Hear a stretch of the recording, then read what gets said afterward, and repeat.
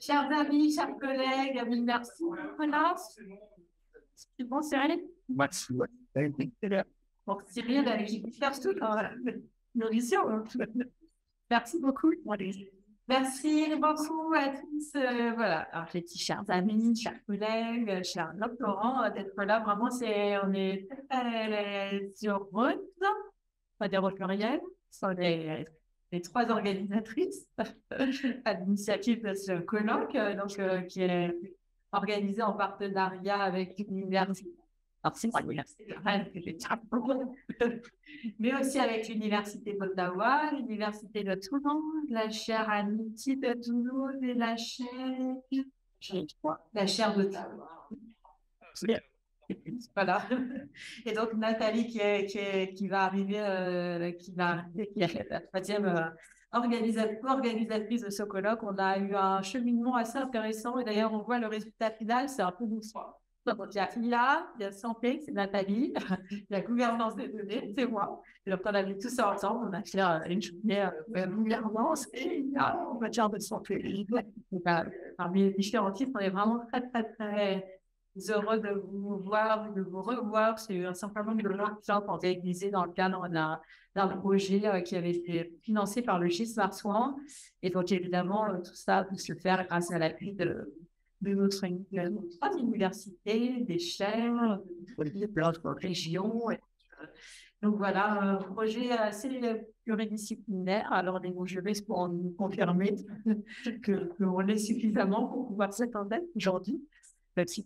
Comme ça. Donc là, le juriste à la faculté de droit et sur la question des données de santé, il y a, avait forcément, il y a eu pas mal de projets euh, euh, très bons qui ont été menés, parce que forcément, dans un contexte post-pandémie, avec les arrêts qu'on a eus, la notion de données de santé, la notion de, gouvernance des données, la notion de bien en santé sont évidemment euh, très présents.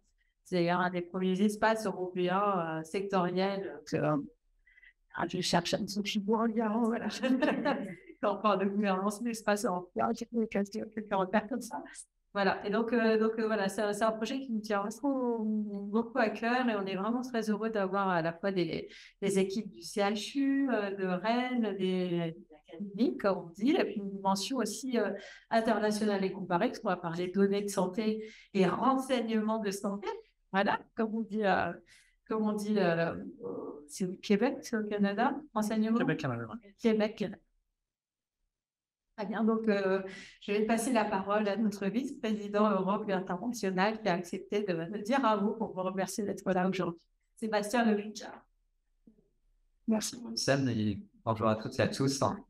Euh, merci Sam pour l'invitation. Je représente aujourd'hui le président de l'Université de Rennes qui n'est pas disponible mais qui se réjouit avec moi de la tenue de ce symposium. Euh, à plusieurs titres. Euh, D'une part parce que les enjeux dont vous allez parler sont évidemment importants les données de santé, ça touche à la fois la, matière éthique, euh, la santé publique, la sécurité des données, euh, l'accès aux données de recherche, et puis euh, ça participe aussi de l'acceptation du grand public au parcours de santé. Vous avez très bien expliqué ça dans, dans l'argumentaire de ce colloque, c'était très clair, merci d'avoir mis ces éléments de contexte pour, pour expliquer l'objet de vos recherches. J'ai en, matière de données de recherche, j'ai eu l'occasion de participer l'an dernier à un colloque international sur les infrastructures de recherche. Justement, on a notamment la question des données qui se posent et plus globalement l'accès des données de la recherche, en cet angle-là en particulier. Euh, lors de cette conférence internationale à Brno, en République tchèque, avaient été invités des représentants de chaque continent, euh, des représentants de haut niveau sur les infrastructures de recherche, dans leur structuration, et responsables de grandes infrastructures. Et ce qui était particulièrement intéressant, c'était d'échanger sur les différents modèles qu'il pouvait y avoir, euh, de la manière dont on fonctionnait, dont on structurait les infrastructures. En Europe, comme vous le savez, c'est un champ très, très actif auquel l'université participe aussi activement. Euh, et en particulier, comment on pourrait donner plus facilement accès aux données pour accélérer les projets de la recherche. Et c'est particulièrement important, bien sûr, dans le cas de crise sanitaire, parce qu'il y a des, je dirais on est sorti d'une crise, on est peut-être encore un peu dedans, mais surtout on sait qu'il y en aura d'autres. Et donc, il faut vraiment progresser sur euh, cette coopération continentale et traiter ce problème-là de direct pour pouvoir euh, avancer et faire en sorte qu'on soit le mieux préparé possible à la prochaine pandémie. Sa question, c'est quand, mais on sait qu'il y en aura forcément. sais pas tu sens comme ça, mais c'est comme si tu avais été toi-même. Et bon, voilà, c'est un peu la, qu'on se fait aujourd'hui. L'autre point qui était particulièrement, auquel on était particulièrement sensible, c'était l'interdisciplinarité de ce symposium. On sait que c'est c'est important parce que vous avez un sujet qui doit être traité de manière holistique, très clairement. Et donc c'est important qu'il y ait plusieurs disciplines, plusieurs compétences qui soient réunies. Et ça demande des efforts, je sais, ça demande de la culturation, il y a des questions de vocabulaire, de la technique, et voilà, il faut essayer de surmonter quand on discute ensemble, ce sera sûrement un des défis de votre, de de travail. Imaginez, vous avez déjà commencé à travailler ensemble. Euh, donc voilà, ça c'est un autre côté euh, auquel on est extrêmement sensible. On essaie de promouvoir cette interdisciplinarité et c'est bien de le voir dans un symposium voilà, où la, science est en marche. On voit vraiment l'interdisciplinarité se développer et être utile. Parce que là, on va vraiment avoir des, échanges très intimes entre vous. Vous allez passer deux jours ensemble et j'ai eu vos conversations déjà tout à l'heure. C'est vraiment très intéressant. Je voudrais aussi remercier, euh, bien sûr, euh, la faculté de droit d'accueillir euh, votre symposium ici. C'est important que vous soyez au cœur de la faculté parce qu'il y a des étudiants qui sont autour, qui vont voir le type du colloque, qui vont s'intéresser, qui sont en train de construire leur propre parcours, leur propre connaissance. On sait que c'est un parcours difficile, c'est un parcours qui prend du temps, c'est des sujets qui sont en évolution permanente. On parlait de réglementation tout à l'heure avec une des collègues change tout le temps. Hein. On fait un cours, mais quelques heures après le cours, il y a déjà une la réglementation, il faut se mettre à jour. Donc voilà, c'est un parcours exigeant, mais voilà, je pense que c'est important de montrer aussi la science en marche ici avec vous au cœur de, la faculté. C'est un de nos rôles, bien sûr, de transmettre ces savoirs.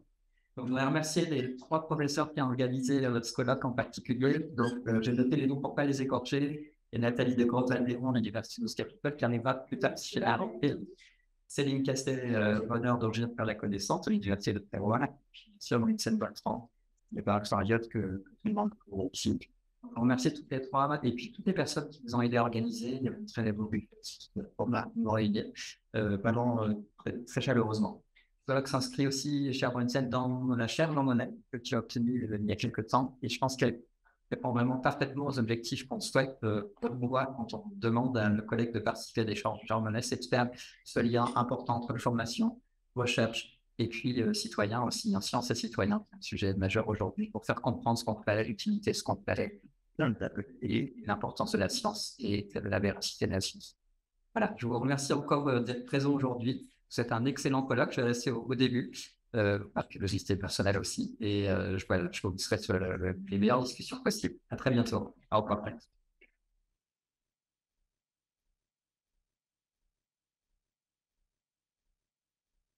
pense que vous avez. je ne voulais vraiment pas long parce que la place souvent intervenant pour beaucoup de choses très intéressantes à, nous dire.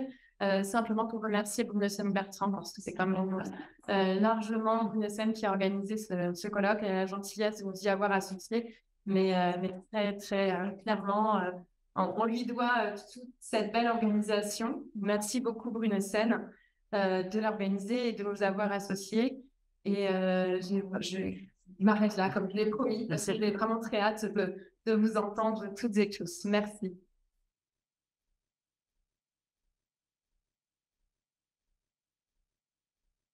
Bien, alors euh, on va commencer avec Marco sur la journée de santé, parce que c'est vrai qu'on s'est rendu compte en échangeant à travers des, des workshops au préalable euh, il y a plusieurs niveaux d'interrogation sur la, question des données de santé. La première, c'est qu'est-ce qu'une donnée de santé?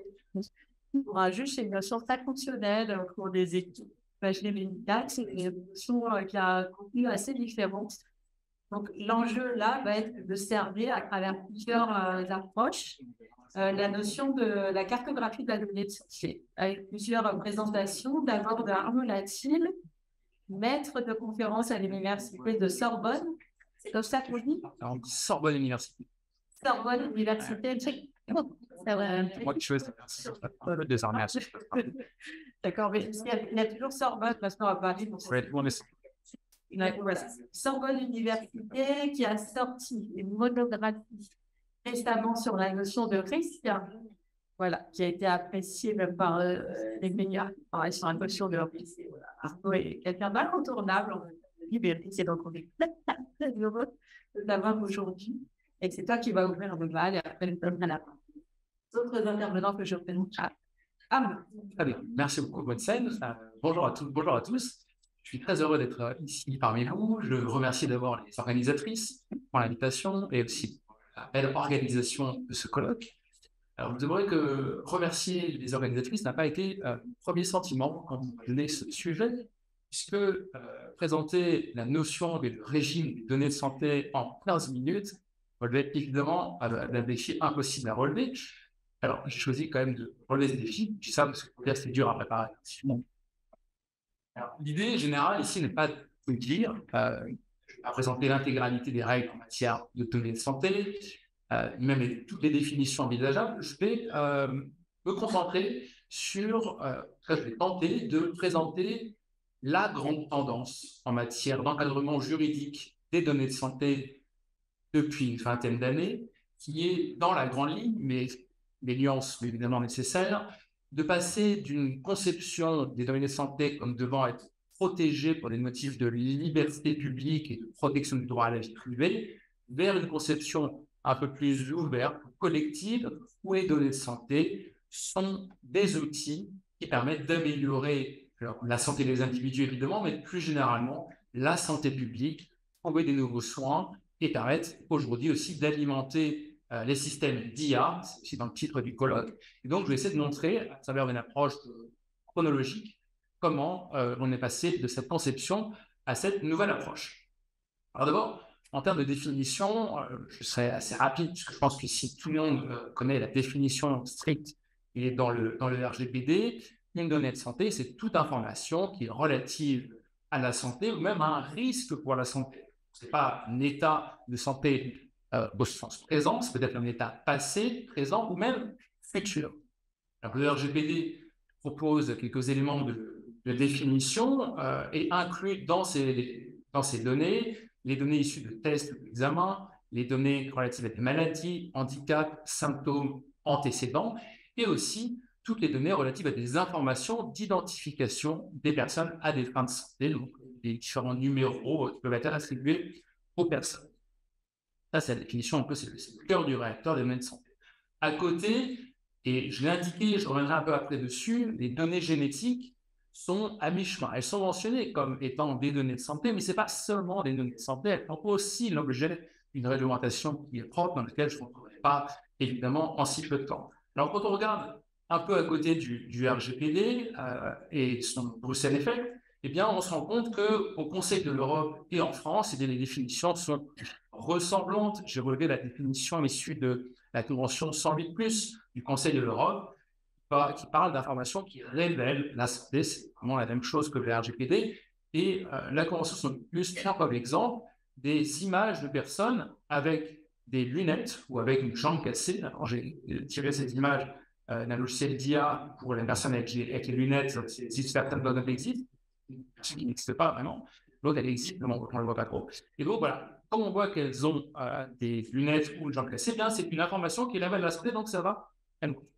La CNIL a proposé également une, non pas une définition, mais une approche des données de santé en distinguant trois grandes catégories. On évidemment en discuter entre nous. Euh, les données de santé par nature, par croisement, par destination. Il y aurait beaucoup de choses à dire, mais cela recoupe. En tout cas, ce qu'il faut retenir, c'est que la définition est très large. Alors, elle est très large, et euh, comme toute définition, ce qui est intéressant, ce n'est pas tellement finalement la notion elle-même, mais plutôt les frontières qu'elle partage avec d'autres notions proches. Et là, on rentre dans un domaine beaucoup plus compliqué où un certain nombre de données proches des données de santé n'en sont pas vraiment, mais peuvent l'être parfois. Alors, peut-être, et on en reparlera certainement, les données de bien-être sont cette catégorie euh, un peu poil à gratter, puisque euh, on ne veut pas qu'elles soient des données de santé, mais dans certains cas, forcé de constater qu'elles le sont. Alors, les montres connectées qui captent des données, eh bien, parfois, c'est peut-être de la santé. Alors, euh, considérer que, je dis bien, hein, en tant que juriste, euh, ceux qui sont juristes ici voient bien que l'enjeu de la définition, c'est évidemment l'application du régime, et donc, faire rentrer ces données santé dans les données, ces données bien pardon, dans les données santé, c'est tout de suite leur imposer un régime plus strict qu'on le souhaiterait peut-être. À côté de cela, les données biométriques également ne sont pas en principe données de santé, mais peuvent l'être parfois.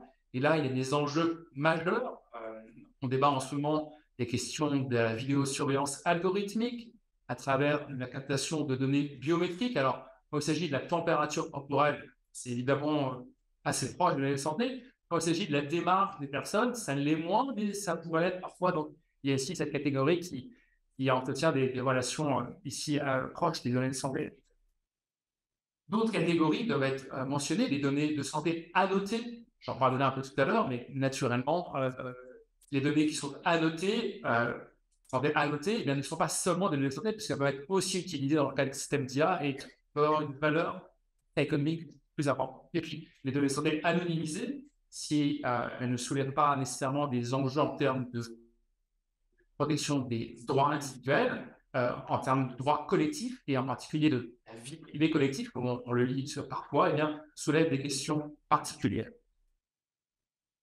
Le régime français du droit de santé, euh, alors je ne fais que l'effleurer un de très loin, mais il est réparti en, trois grandes sources. D'abord dans le RGPD, mais comme euh, vous le savez certainement, le RGPD prévoit une large marge de liberté accordée aux États membres pour, prévoir des règles particulières. Donc, les accords ne figurent pas dans le RGPD. En France, la loi informatique et liberté contient des dispositions en la matière, le site naturellement, mais aussi les obligations euh, issues des articles 64 à 77 qui, pour un non spécialiste du droit de la santé comme moi, il faut bien le dire, ressemblent un peu à un on retrouve des obligations, des droits, des devoirs, bref, un petit peu de tout sous un titre euh, qui est déceptif, puisqu'il ne s'agit pas seulement des obligations de reste des sont et des sous-traitants, mais c'est beaucoup plus large que cela. Et puis enfin, dans le Code de la santé publique, on y trouve également des dispositions en matière de secret, de référentiel de sécurité, d'hébergement, d'interdiction de protection commerciale ou encore de mise à disposition.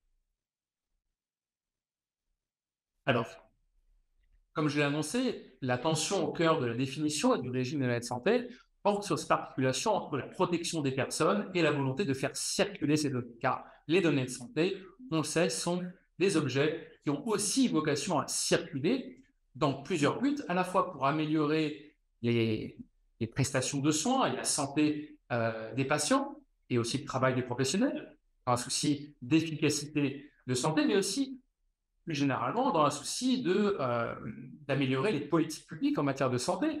Et donc, on voit ici, il y a deux enjeux un peu euh, qui, se, qui se croisent, individuels et collectifs. Alors, sans rentrer dans le détail, il existe en France un système euh, numérique de données de santé avec un, écosystème numérique dans lequel je n'entrerai pas, de plateformes numériques à destination des patients, à destination des professionnels et à destination des pouvoirs publics dans leur rapport avec les personnes. Et donc, ce système euh, existe, il est en place. Il y a plein de débats euh, euh, sous-jacents dans lesquels on devrait Au niveau européen, cette fois-ci, l'objectif de l'Union européenne est de mettre en place un espace commun des données de santé. À la suite de la stratégie européenne en matière de numérique, l'objectif c'est de mettre en place des marchés de la circulation des données et la santé est le premier espace de euh, données qui, est, euh, qui sera régulée, puisqu'il s'agit ici d'une proposition de règlement du 3 mai 2022 que je vais vous présenter très très rapidement. L'objectif ici, c'est d'avoir une santé en ligne avec 100%, j'ai encadré ici l'objectif de l'Union européenne, 100% des citoyens qui ont accès à leurs dossiers médicaux en ligne. Ça, c'est l'objectif. Et comment le faire? Comment le faire? Eh bien, en encourageant, en favorisant la circulation et le partage des données de santé qu'elles soient à caractère personnel ou non personnel. Allez, pendant la pause, le fait d'avoir ajouté ou non personnel, c'est déjà ouvrir le champ avec la santé à un domaine immense que l'on ne maîtrise pas encore vraiment. Pour rester euh, vraiment euh, très succinct, le règlement, le projet de règlement prévoit deux types d'utilisation, utilisation primaire ou secondaire. Primaire, eh bien, c'est pour améliorer l'accès euh, aux, soins et l'efficacité du soin. Donc, c'est une dimension très individuelle. Par exemple, permettre à une personne d'avoir accès à l'étranger, dans d'autres pays européens, à son dossier de santé. Donc, c'est plus pratique quand on voyage ou qu'on habite dans d'autres pays, d'avoir accès à, son données, euh, à, ses données directement, par exemple, entre autres. Hein. Et c'est aussi euh, une utilisation secondaire, euh, ici dans l'intérêt de la collectivité, dans le but de favoriser la recherche, l'innovation et les politiques publiques. Alors, le règlement prévoit une liste de données dans laquelle je pas dans le détail, mais je les ai indiqués ici, vous les aurez dans, les sacs pour la suite si vous le souhaitez. Pour, un usage primaire, eh bien, font partie de ces données de santé toute la liste qui est ici, le dossier du patient, les prescriptions, etc., les résultats de laboratoire. Et dire ici, il y a encore ces six catégories ne sont que les catégories générales qu'un annexe 1, que je reproduis ici, vous n'avez pas le temps de le dire naturellement, eh bien, détaille ce que doit constituer toutes ces catégories de données. Donc, on voit qu'il y a beaucoup de choses. Ensuite, pour l'usage secondaire, eh bien, les détenteurs de données doivent mettre à disposition, devraient mettre à disposition une longue liste de données dans lesquelles je ne rentrerai pas, mais j'ai mis ici en rouge euh, celles qui euh, soulèvent le plus d'interrogations, notamment les données de santé euh, électroniques générées par la personne, par un dispositif médical, une application de bien-être ou une autre application. On y revient, vos applications bien-être. Encore, les données d'identification des soignants, les données d'essai, de corps de recherche, de biobanque, les données d'assurance, c'est gigantesque. Ou encore les données annotées et enrichies. Encore ici, un monde s'ouvre à la donnée de santé.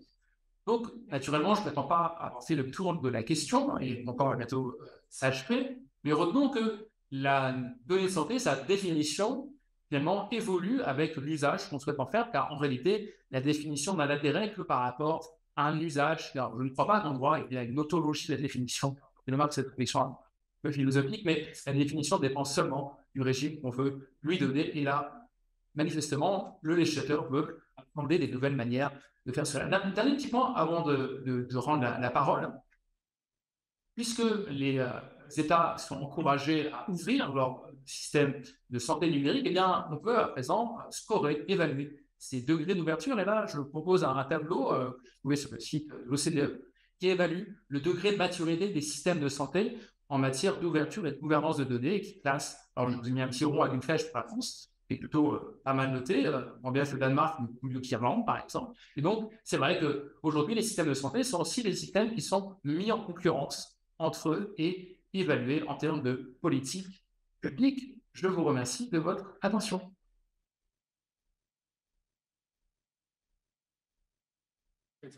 Alors moi, je n'ai pas de micro ici, par contre, je ne sais pas si euh, il y a le fort ou... Il y a le micro allemand, je pense que tu peux... Ah oui, pardon. Je ne sais pas si ça serait possible de mettre la, la diapo aussi ou si on la déplace. il y a une petite euh, télécommande, c'est ça que tu faut utiliser. Euh, vous la. Alors, c'est. Non, c'était mieux là, ouais. Celui-là, un peu délaisse. Non, l'autre à côté. Ouais, non, celui-ci. Ouais, exactement. Hop. Alors, je ne sais pas si ça fonctionne. C'est un PDF.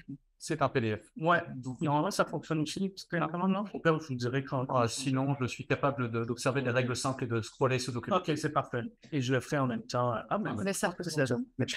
Bon, ben, très bien, parfait. Donc, moi, je vais opérer le micro, mon ordinateur, cet ordinateur-là, c'est les commandes. Alors, bonjour à toutes et à tous. Euh, merci beaucoup d'être là. Euh, merci à euh, de m'avoir invité. Je suis très heureux de faire ta, connaissance. Je suis content de parler de toi. Euh, merci à Céline aussi pour l'invitation. je suis très content d'être là. C'est ma première fois à Rennes. Je suis content de découvrir des nouveaux collègues, de voir des collègues que ça fait longtemps que je n'avais pas vu, ou en tout cas que j'avais. j'ai eu rarement l'occasion de, voir Arnaud, Anne-Sophie, qui n'est pas très loin de la maison. Finalement, on n'a pas l'occasion de se voir souvent. Donc, en tout cas, tout ça pour dire que je suis ravi d'être là partage un peu le sentiment d'Arnaud. C'est-à-dire, même si je suis content d'être là, j'ai un sujet quand même assez, assez particulier, assez euh, compliqué, euh, surtout qu'on m'a demandé de présenter qu'est-ce qu'un donné de santé, ou en tout cas, nous, on, parle plus, comme moi, je travaille plus en perspective de protection des renseignements personnels. Donc, qu'est-ce qu'un renseignement personnel sur la santé euh, au Canada, au Québec? au Québec, je, l'annonce, on va en parler un petit peu plus tard, on, parle de renseignements sur la santé en, en personnel pour différentes raisons, pour aller revenir un petit peu plus euh, tard. Donc, j'ai 15 minutes. Je pense que je peux faire un bon tour d'horizon sur qu'est-ce qu'un renseignement de santé, un renseignement personnel de santé au Québec, au Canada. Euh, j'ai essayé de travailler, ce qui m'intéresse beaucoup, c'est comment on définit le renseignement personnel, mais aussi toute la question du risque de dépersonnalisation, de réanonymisation. Il y a des définitions assez intéressantes dans les lois québécoises, canadiennes sur ces notions-là. Euh, C'était important pour moi de vous en parler. On a aussi des lois très récentes au Québec en matière de protection des renseignements personnels. Donc, j'ai décidé de parler un peu de tout ça.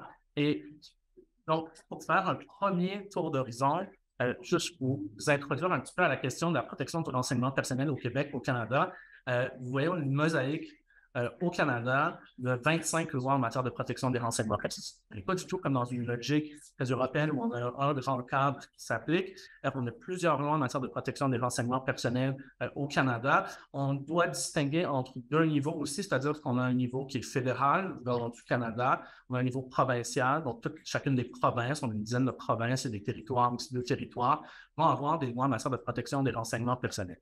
On a au Canada aussi une approche très sectorielle, c'est-à-dire qu'on a des renseignements personnels dans le secteur, des, lois qui s'appliquent au secteur public, des lois qui s'appliquent au secteur privé et des lois plus spécifiques qui s'appliquent au secteur de la santé. Donc, il y a trois grandes générations de production d'instruments euh, législatifs au Canada.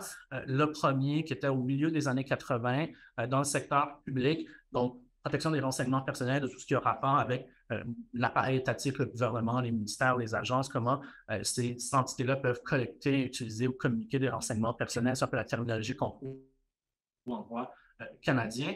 On a eu au début des années 2000 toute une nouvelle vague de lois en matière de protection des renseignements personnels qui s'appliquaient plus au secteur privé, donc vraiment les entreprises.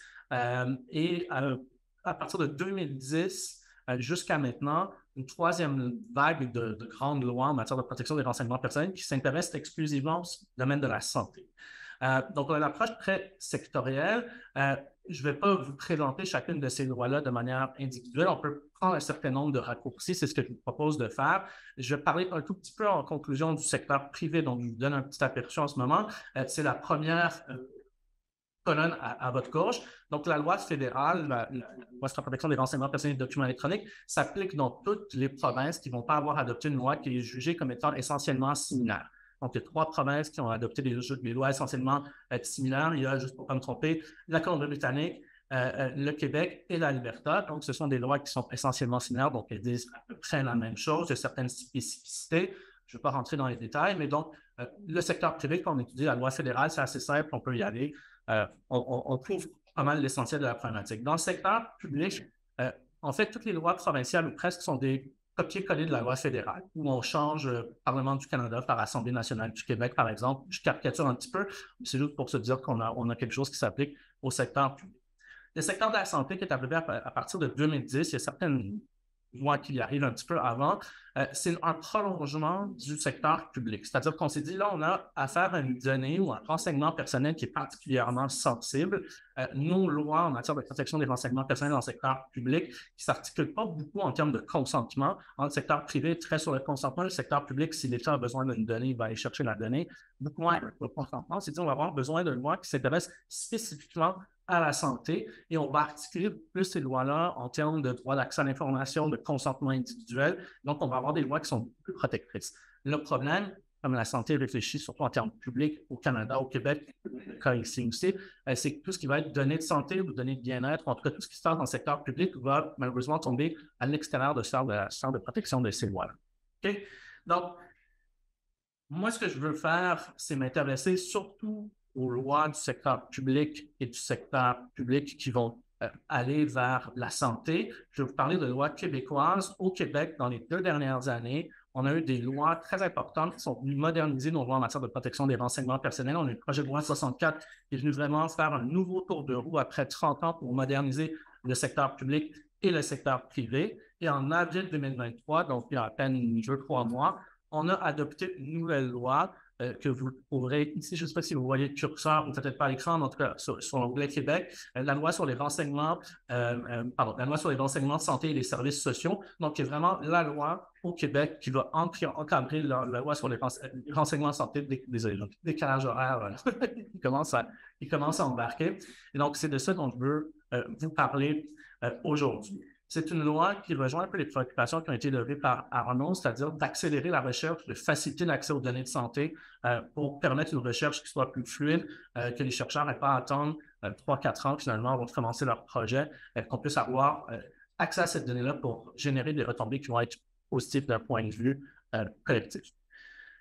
Donc, le renseignement personnel ou le renseignement personnel sur la santé ou le renseignement sur la santé, c'est une notion qui est relativement simple, mais comme toutes les choses simples, c'est quelque chose de quand même complexe, surtout en 10 minutes, il doit me rester environ ça, euh, environ, et surtout quand on l'appréhende par le biais du, droit, je pas juriste à la base, le juriste tendance à complexifier les choses quand même. Euh, donc, on va essayer de faire ça relativement simple. Un renseignement personnel sur la santé en droit québécois, en droit canadien, c'est un renseignement personnel particulier qui va porter sur la santé. Donc, ici, ça va plutôt bien, mais donc, ça soulève deux questions. Là, je vois que j'avance sur mes ordinateurs sans avancer de vôtre. Donc, un renseignement personnel euh, particulier qui va porter sur la santé, mais donc qui pose deux questions. Qu'est-ce qu'un renseignement personnel euh, en droit québécois, en droit canadien? C'est là qu'on va avoir des, complexités, notamment en matière de dépersonnalisation, de risques de réidentification qui sont assez particulières. Et qu'est-ce que veut dire la santé, en tout cas la santé pour le droit, pour le droit en matière de protection des renseignements personnels? Je pense que ça va rejoindre assez ce que, ce que Arnaud nous disait. Euh, OK, parfait, c'est gentil.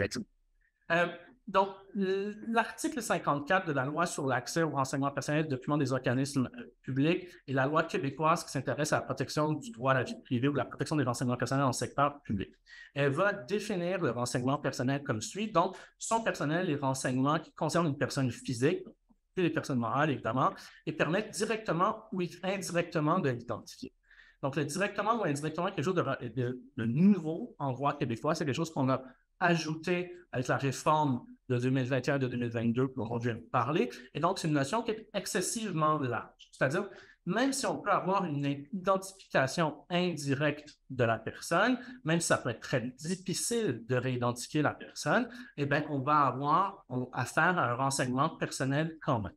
Donc, peu importe le niveau d'anonymisation ou de dépersonnalisation qu'on va avoir, euh, le renseignement personnel, c'est pas sur une personne physique, si on veut possible de réidentifier la personne, on va avoir un renseignement qui va être personnel au sens de la loi. On va avoir, euh, par contre, donc on a une définition qui est très large. On va avoir, par contre, à l'article 65.1, et c'est quelque chose qu'on va commencer à faire avec la réforme de 2021 de 2022, on va commencer à définir aussi qu'est-ce qui est un renseignement qui est dépersonnalisé. Un renseignement qui est dépersonnalisé, il y a un renseignement anonymisé aussi dans la loi, je ne vais pas vous en parler, mais un renseignement qui est dépersonnalisé, euh, va, on va avoir certaines, euh, une grande facilité d'utiliser, il va avoir plus, d'exceptions par rapport à son utilisation que quand c'est un renseignement personnel qui est identificatoire à première vue, euh, notamment en termes d'utilisation secondaire de ce renseignement personnel-là à des fins de recherche, mais surtout à des fins de recherche à l'interne. Donc, on va nous dire, pour l'application de la présente loi, un renseignement personnel est dépersonnalisé lorsque ce renseignement ne permet plus d'identifier directement la personne concernée. Et c'est là qu'on commence à avoir des choses qui sont assez intéressantes à se mettre en place. Donc, le renseignement qui est dépersonnalisé, c'est presque un contresens, va demeurer un renseignement personnel. Avoir un renseignement dépersonnalisé personnel, parce que s'il y a un risque d'identification, c'est pour ça que ça devient un petit indirecte, ben, ça reste un renseignement personnel, donc ça reste dans la sphère de protection de la loi. C'est quelque chose d'intéressant parce qu'avant, on va avoir tendance à l'exclure de la sphère de protection de la loi parce qu'on dit que c'est dépersonnalisé, c'est plus personnel. Donc, on essaie de contre-sens-là, ce paradoxe-là, mais qui est intéressant parce qu'on ramène la dépersonnalisation ou le renseignement dépersonnalisé sur un régime juridique clair. On ne fait pas juste l'exclure de la sphère de la protection de la loi. Euh, c'est intéressant, mais en même temps, il y a un problème parce qu'on parle de ne permet plus d'identifier directement la personne concernée. Donc, à partir du moment où on va supprimer ne serait-ce que quelques identifiants directs, on va considérer que c'est un renseignement qui est dépersonnalisé. Donc, c'est assez faible finalement parce que c'est très facile de faire basculer le renseignement personnel dans la sphère de dépersonnalisation puis de jouir de ces exceptions, de ces nouvelles formes d'utilisation qu'on peut avoir, ne serait-ce et donc même si c'est facile de réidentifier la personne, il y a de grandes possibilités de réidentifier la personne, on va quand même considérer que c'est un renseignement qui est dépersonnalisé. Premier point éditorial, moi je pense que le législateur québécois euh, a fait une erreur en ne spécifiant pas qu'un critère en quelque part pour marquer la différence entre la dépersonnalisation ou la personnalisation, en mettant un seuil qui soit peut-être pas quantitatif comme on a aux États-Unis, mais qualitatif en dans un certain contexte, dire que ça prend quand même certaines exigences, pas juste de dépersonnaliser de manière générale pour tomber dans le renseignement qui est dépersonnalisé. On va commencer à rentrer un peu plus dans le renseignement euh, sur la santé, mais par le biais justement de la dépersonnalisation, on a euh, de la jurisprudence ou des cas législatifs, en des dispositions dans certaines lois canadiennes provinciales euh, où on doit en charge ce risque de dépersonnalisation, ou la dépersonnalisation par un risque de réidentification de manière un petit peu plus sérieuse. Il y a une affaire euh, Gordon contre le ministère de la Santé, une affaire fédérale, donc qui ne s'applique pas nécessairement directement à la loi québécoise, mais qui est une bonne source d'interprétation par la Commission d'accès à l'information de toute façon. On va nous dire qu'un renseignement va être euh, personnel ou s'il y a une forte possibilité de réidentification. on ne peut pas considérer que c'est dépersonnalisé s'il y a une forte possibilité de réidentification. Donc, pour que ça soit vraiment dépersonnalisé, il faut que ça soit quand même relativement euh, difficile de réidentifier la personne. Euh, la loi ontarienne de 2004 sur la protection des renseignements personnels sur la santé va nous dire qu'il faut que ça soit raisonnable de prévoir dans les circonstances qu'il y a une réidentification pour qu'on continue à considérer que ce ne soit pas un renseignement personnel, pour qu'on considère que ce soit euh, un renseignement qui n'est pas, dépersonnalisé, qu'on considère, que c'est un renseignement qui est personnel. On a d'autres stratégies aussi à travers le Canada, à travers les provinces sur la définition de ce qu'est un renseignement personnel euh, de santé, qui s'articule encore une fois avec ce risque de dépersonnalisation, de risque de réidentification. En Saskatchewan, qui est une province, en Alberta aussi, qui est une province de l'Ouest, on va axer la loi plus à la pas juste sur le health information, mais sur le de-identified personal health information. Et on va nous dire, ça veut dire euh, personal health information from which any information that may reasonably be, uh, be expected to identify an individual has been removed. Donc, toute information pour laquelle on peut avoir, ça rejoint un petit peu euh, le critère ontarien. C'est voir dans les circonstances qu'il y a une certaine forme de réidentification. On ne va pas pouvoir considérer que c'est un renseignement qui est dépersonnalisé. On va juste dire que c'est un renseignement qui est dépersonnel, donc on ne va pas pouvoir jouer avec toutes ces exceptions-là. En Alberta, on va nous dire c'est plus un critère de facilité, donc peut-être quelque chose d'un petit peu moins exigeant. On va nous dire si c'est readily ascertain ou l'identité peut être readily ascertain. Donc, si ça peut être relativement aisé de le faire, ben, ce renseignement-là ne va pas pouvoir être considéré comme étant dépersonnalisé. Donc, l'idée, c'est qu'on a au Québec un renseignement personnel qui est très englobant, c'est par d'identification directe ou indirecte, mais qu'on a une sphère de dépersonnalisation qui est très peu exigeante. On n'a pas tous les critères qu'on va retrouver dans les autres euh, juridictions canadiennes. C'est important de voir ça parce qu'on a euh, au Québec une nouvelle loi, la loi sur les renseignements de santé et de services sociaux, qui a été construite après la nouvelle réforme, et c'était très clair que le législateur essayait de s'appuyer sur le projet de loi 64, sur une nouvelle loi en matière de protection des renseignements personnels, pour construire la loi sur les renseignements de santé et des services sociaux. Euh, mais il y a une modification là qui est assez intéressante, surtout par rapport à tout ce que je viens de vous dire sur la, possibilité de dépersonnalisation, sur les risques de réidentification et un contraste assez clair aussi par rapport aux autres provinces canadiennes que je vous ai présentées. Donc, on va nous dire, au sens de la présente loi, est un renseignement de santé ou de services sociaux, tout renseignement détenu par un organisme du secteur de la santé ou des services sociaux. Donc, ce n'est pas juste une question de définition, c'est aussi une définition d'acteur qui possède ces renseignements-là, hein, euh, qui concerne une personne qui permet de l'identifier ou non. Hein. Donc là, ce n'est pas permission d'identifier, de possibilité d'identifier directement ou indirectement, on va dire que même là, des données qui seraient complètement anonymisées, si ça vient d'une personne physique, même si ça ne touche pas du tout l'identité, même si on ne pourrait pas du tout identifier la personne, disons que ça serait possible, certains collègues en douteraient, mais ça resterait quand même un renseignement sur la santé. Alors, c'est là qui est intéressant, on a comme soustrait le terme de renseignement personnel. On parle vraiment d'un renseignement de santé, mais on a vraiment tout la même début de définition, pendant sur une personne physique, sur un patient. Euh, et donc, on enlève cette idée de l'identification. Alors là, je trouve au contraire que le législateur québécois a fait quelque chose d'assez intéressant. Pour moi, tout le débat sur l'identification, la désidentification, la réidentification, la dépersonnalisation, la dénomisation, euh, pour moi, le renseignement personnel, c'est un peu mon point de vue. C'est un renseignement qui porte sur une personne physique. Hein. Après, on peut avoir certaines catégories, mais dès que ça porte sur une personne physique, il y a toujours un risque de réidentification. Il faut qu'on ramène toujours ça sous le socle de la Donc, c'est là qu'on va avoir une définition pour enfin arriver au sujet de ma présentation, tout ça pour dire, euh, mais qui n'était pas très compliqué quand on fait juste l'article, je voulais quand même que je fasse un petit peu. Euh, donc, ça rejoint un petit peu ce que Arnaud disait tout à l'heure. Donc, euh, des renseignements qui vont être relatifs à la santé physique ou mentale de la personne, tout le matériel qui va être privilégié dans le cadre d'une évaluation ou d'un traitement, euh, les services de santé offerts, les résultats et l'identité aussi des personnes qui les ont offerts et des questions administratives. Euh, ce qui est décidé par règlement, donc ça c'est très, je ne sais pas si vous avez ça aussi en Europe, au Canada, on est très fort là-dessus, au Québec, on, va toujours mettre, peu importe ce que le législateur va décider par règlement, de éventuellement, ça va pouvoir rentrer. Tous les renseignements identificatoires qui sont accolé au, au, renseignement sur la santé. Euh, donc là, on va avoir quelque chose qui va tourner un petit peu plus sur l'identité de la personne, mais même si ce n'est pas un renseignement de santé en tant que tel, si c'est accolé à un renseignement de santé, on va considérer que c'est ça devient un renseignement personnel euh, sur la santé. On va exclure, ne comprend pas les données euh, qui sont utilisées à des fins de ressources humaines on a sensiblement, je vais peut-être assez, assez outre, on a sensiblement la même définition qu'en Ontario, euh, donc une loi de 2004. Si vous allez voir le texte, vous allez voir allez voir c'est rien d'être radicalement. On voit vraiment que le législateur canadien s'est inspiré largement du législateur euh, ontarien sur ce point. Je vais peut-être finir par voir le temps qui, qui, avance. Euh, peut-être juste présenter un certain nombre de banques de données qu'on a au Québec. Euh, la loi, le projet de loi numéro 3, la loi 5 sur les renseignements de santé, ce qu'on essaie vraiment de faire, c'est d'accélérer l'accès à la donnée de santé ou l'enseignement de santé euh, pour des fins de recherche. Il y a de plus en plus d'initiatives au Québec qui ont émergé au cours des dernières années pour centraliser la recherche en termes de santé, pour faciliter la recherche en termes de santé.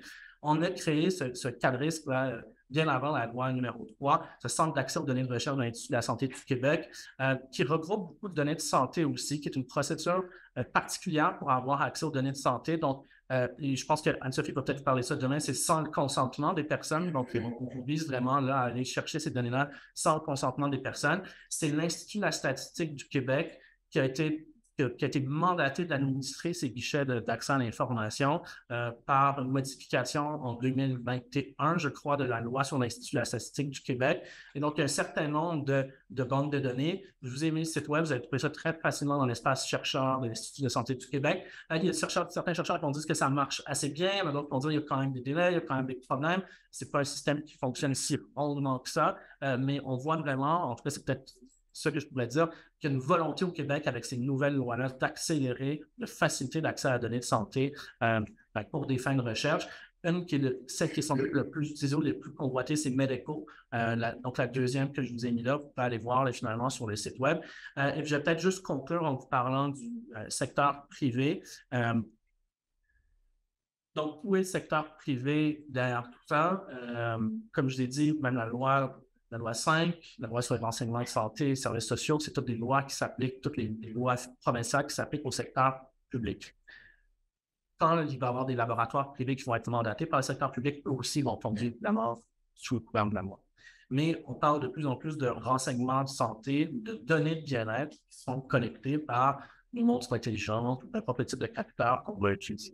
Au Québec, il y a cette mécompréhension-là de dire que le secteur public est complètement exclu. C'est plus ou moins vrai parce qu'ils vont être soumis quand même aux lois de protection des renseignements personnels dans le secteur privé, hein, qui pas rien non plus. Ce pas les lois les plus parfaites, mais c'est pas vrai non plus qu'ils évoluent dans un vide juridique comme celle-là. Et la loi fédérale, que je vous expliquais tout à l'heure, qui s'applique dans toutes les provinces, sont celles qui vont euh, utiliser des lois qui sont essentiellement similaires, va à un certain point euh, parler de renseignements personnels sur la santé aussi. Donc, n'utilise pas de données de bien-être, donc une reconnaissance qu'il y a vraiment des données de santé ou des renseignements personnels de santé qui peuvent être collectés dans euh, le secteur privé et des obligations qui sont particulières, notamment en termes de consentement, de type de consentement, de niveau de sécurité qu'on doit fournir quand on va collecter ce type de renseignements personnels sur la santé aussi. Donc, il y a une gestion du secteur privé, elle est juste presque indirecte euh, dans le domaine de la santé. c'est par le de loi actuelle en matière de protection des renseignements personnels dans le secteur, dans le secteur privé. Donc voilà, je pense que mon temps est largement écoulé. je vous remercie beaucoup de votre attention et je cède maintenant la parole à...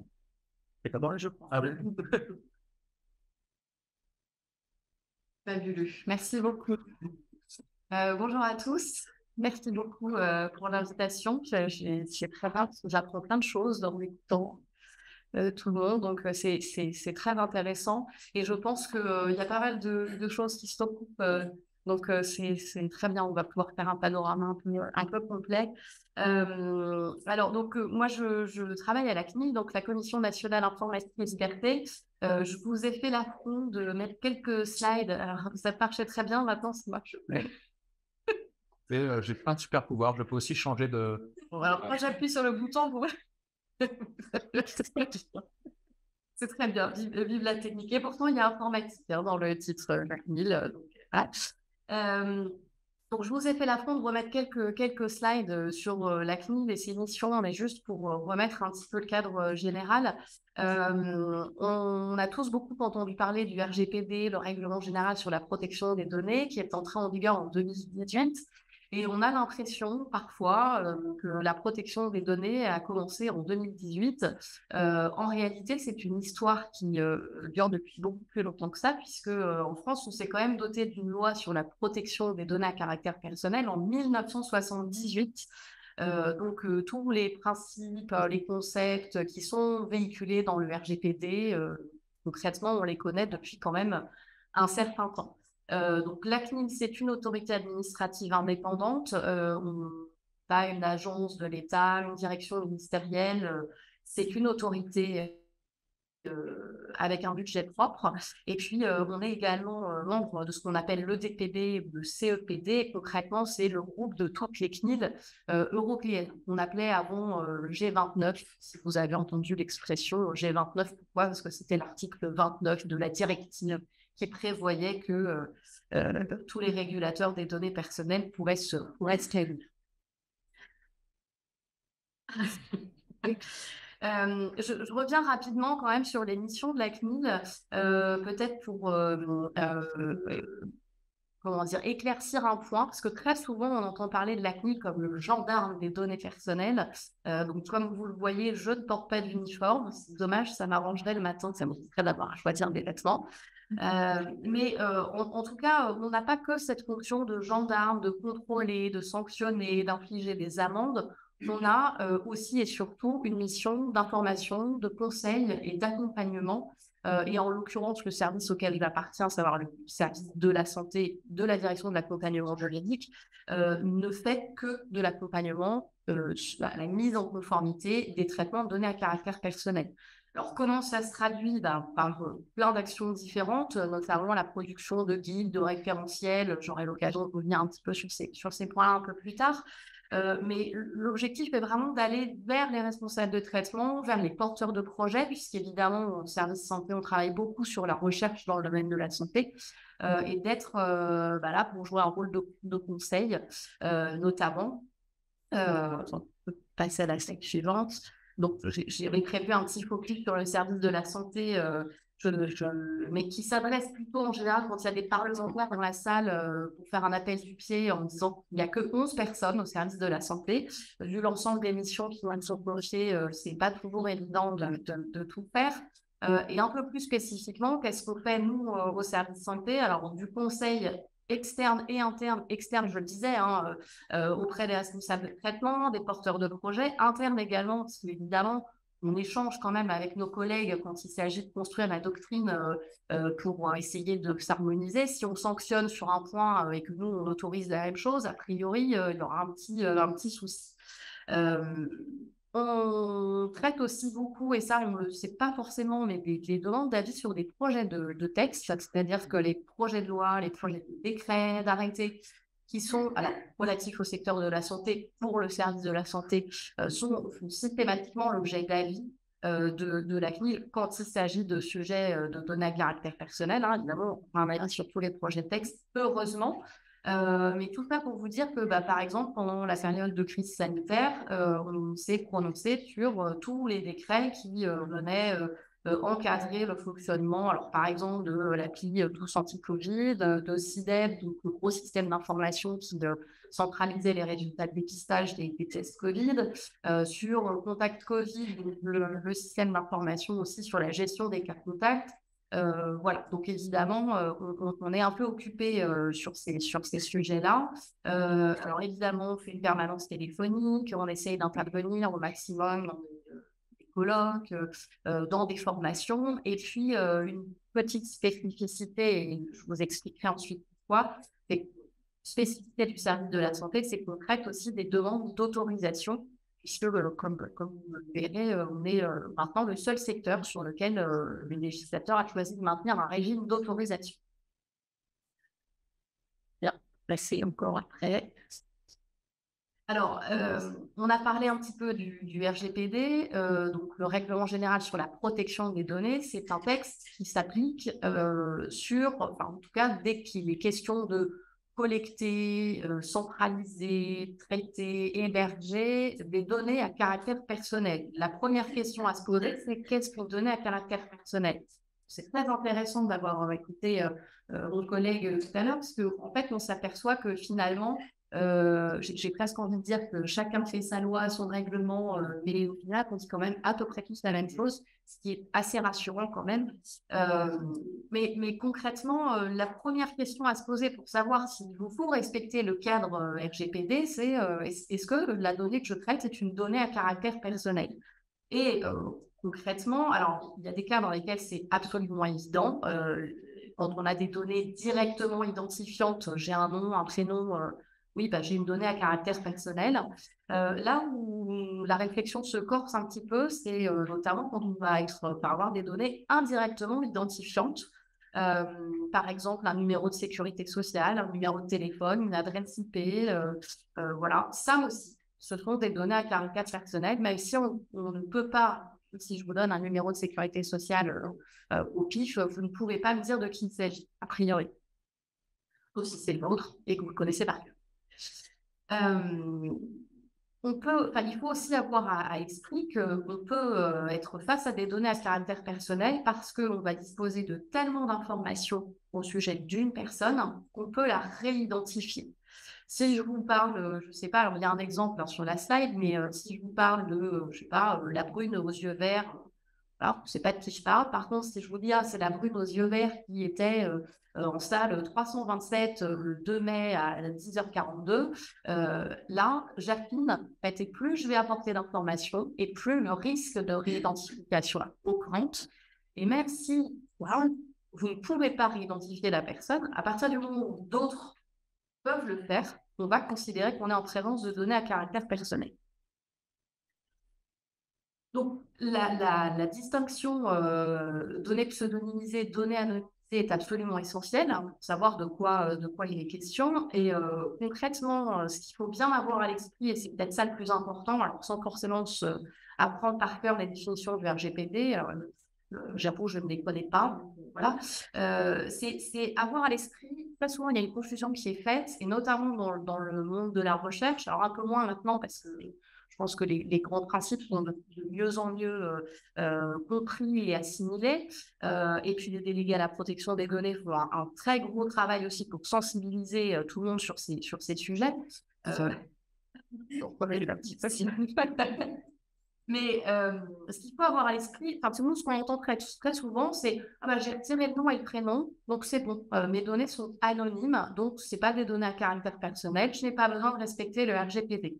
Et c'est là qu'on s'aperçoit qu'il y, a quand même un petit, euh, euh, un petit point de friction entre le sens anonyme au, sens littéraire du terme, c'est-à-dire anonyme, pas de nom, pas de prénom, effectivement, et le terme anonyme au sens juridique. Et concrètement, anonyme au sens juridique, ça veut dire à partir des informations que j'ai, je ne peux pas rentrer vers la personne, je ne peux pas réidentifier une personne. À la limite, on s'en fiche un peu que ce soit très difficile. La question, c'est est-ce qu'on peut ou pas et là où, euh, évidemment, on, fait beaucoup de déçus, on s'aperçoit que c'est très compliqué dès lors qu'on a des informations individualisées euh, sur euh, une personne. Bah, finalement, c'est extrêmement compliqué de considérer qu'on est face à des données, à des données anonymes. Alors, je reviens très rapidement sur le principe clé du RGPD et je n'ai pas regardé l'heure où j'ai commencé à parler, donc surtout si je déborde, vous faites des grands signes parce que je suis très bavarde. Euh, mais vous allez voir, de toute façon, on, peut passer assez rapidement. Déjà, parce que comme je le disais, c'est un principe qui tient quand même dans les textes depuis 1978, donc c'est pas nouveau théoriquement.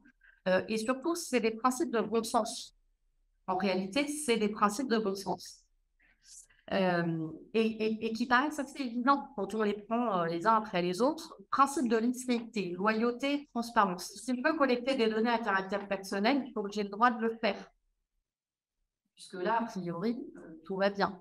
Euh, il faut que j'ai le droit de le faire. Et pour ça, alors, il y a des bases légales qui sont prévues dans le RGPD. Soit vous avez le consentement de la personne, soit vous avez un contrat avec cette personne qui vous autorise à traiter des données à caractère personnel, soit vous avez une mission de service public.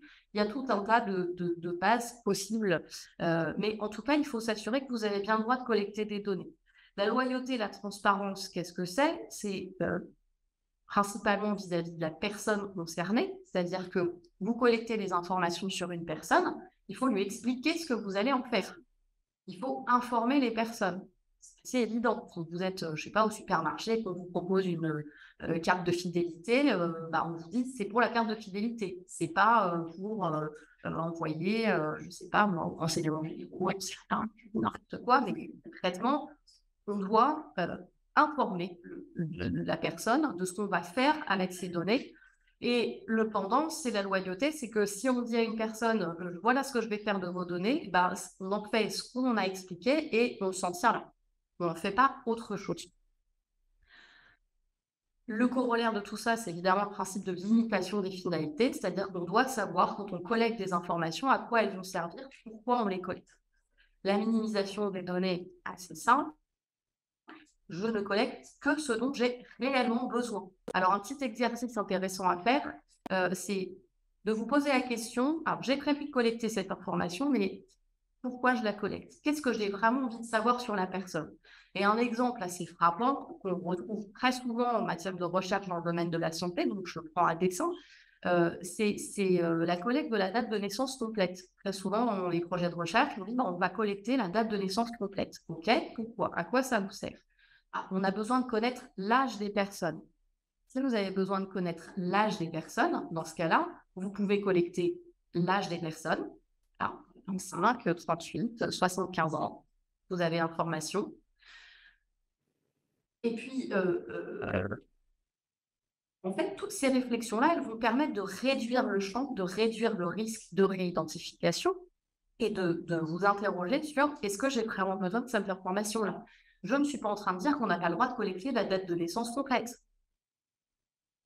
Je dis que pour avoir l'âge, on n'a pas besoin de toutes ces informations. En revanche, si vous faites une étude, euh, je ne sais pas moi, sur des euh, nouveau-nés euh, prématurés, vous avez besoin de connaître jusqu'à l'heure de naissance, bah, dans ce cas-là, vous pouvez collecter l'heure de naissance, le jour de naissance, le mois, l'année, il n'y a pas de problème. Mais il faut être capable de justifier pourquoi vous avez besoin de cette information-là. Et ça, c'est vraiment un exercice qu'il faut faire de manière systématique pour toutes les catégories de données. pareil, on entend très souvent, bah, la CNIL ne veut pas qu'on collecte d'informations sur l'origine époque c'est une donnée sensible. Donc évidemment, on est vigilant. On va vous demander pourquoi vous voulez collecter cette information. Mais si vous en avez besoin, je ne sais pas moi, parce que c'est des analyses euh, génétiques, euh, parce qu'il euh, peut y avoir des réactions différentes à un produit en fonction de l'origine, que sais-je. Si vous êtes en mesure de justifier scientifiquement le besoin de la collecte, pas de problème. Nous, on n'est pas chercheurs, on n'est pas médecins, on n'est pas scientifiques c'est à vous de savoir si vous avez vraiment besoin d'infos et d'être en capacité de l'expliquer. Et si vous n'êtes pas en capacité de l'expliquer, c'est qu'a priori, vous n'en avez pas franchement besoin. Le principe d'exactitude, les informations que vous traitez doivent être exactes. Euh, c'est encore plus important, euh, j'ai envie de dire, dans le domaine de la santé. Si vous avez des informations inexactes dans un dossier médical, euh, a priori, ça peut quand même poser des problèmes en matière de, de prise en charge. vous devez également limiter la conservation des données, ce qui veut dire que encore une fois, je parle beaucoup de recherche, mais c'est assez caractéristique. ah, ben, on va en avoir besoin longtemps des données, donc on va les garder, mais on ne va pas mettre de durée de conservation parce que, voilà, je ne sais pas. Peut-être que dans 50 ans, elles seront garanties. Ça, euh, c'est pas possible. C'est-à-dire qu'il faut vous fixer une limite. Alors, c'est pas forcément de dire je garde 10 ans et après je supprime tout. C'est de se dire à quel moment je n'en aurai plus besoin. Une fois que j'aurai publié mon papier ou une fois que euh, l'événement sera passé. Voilà.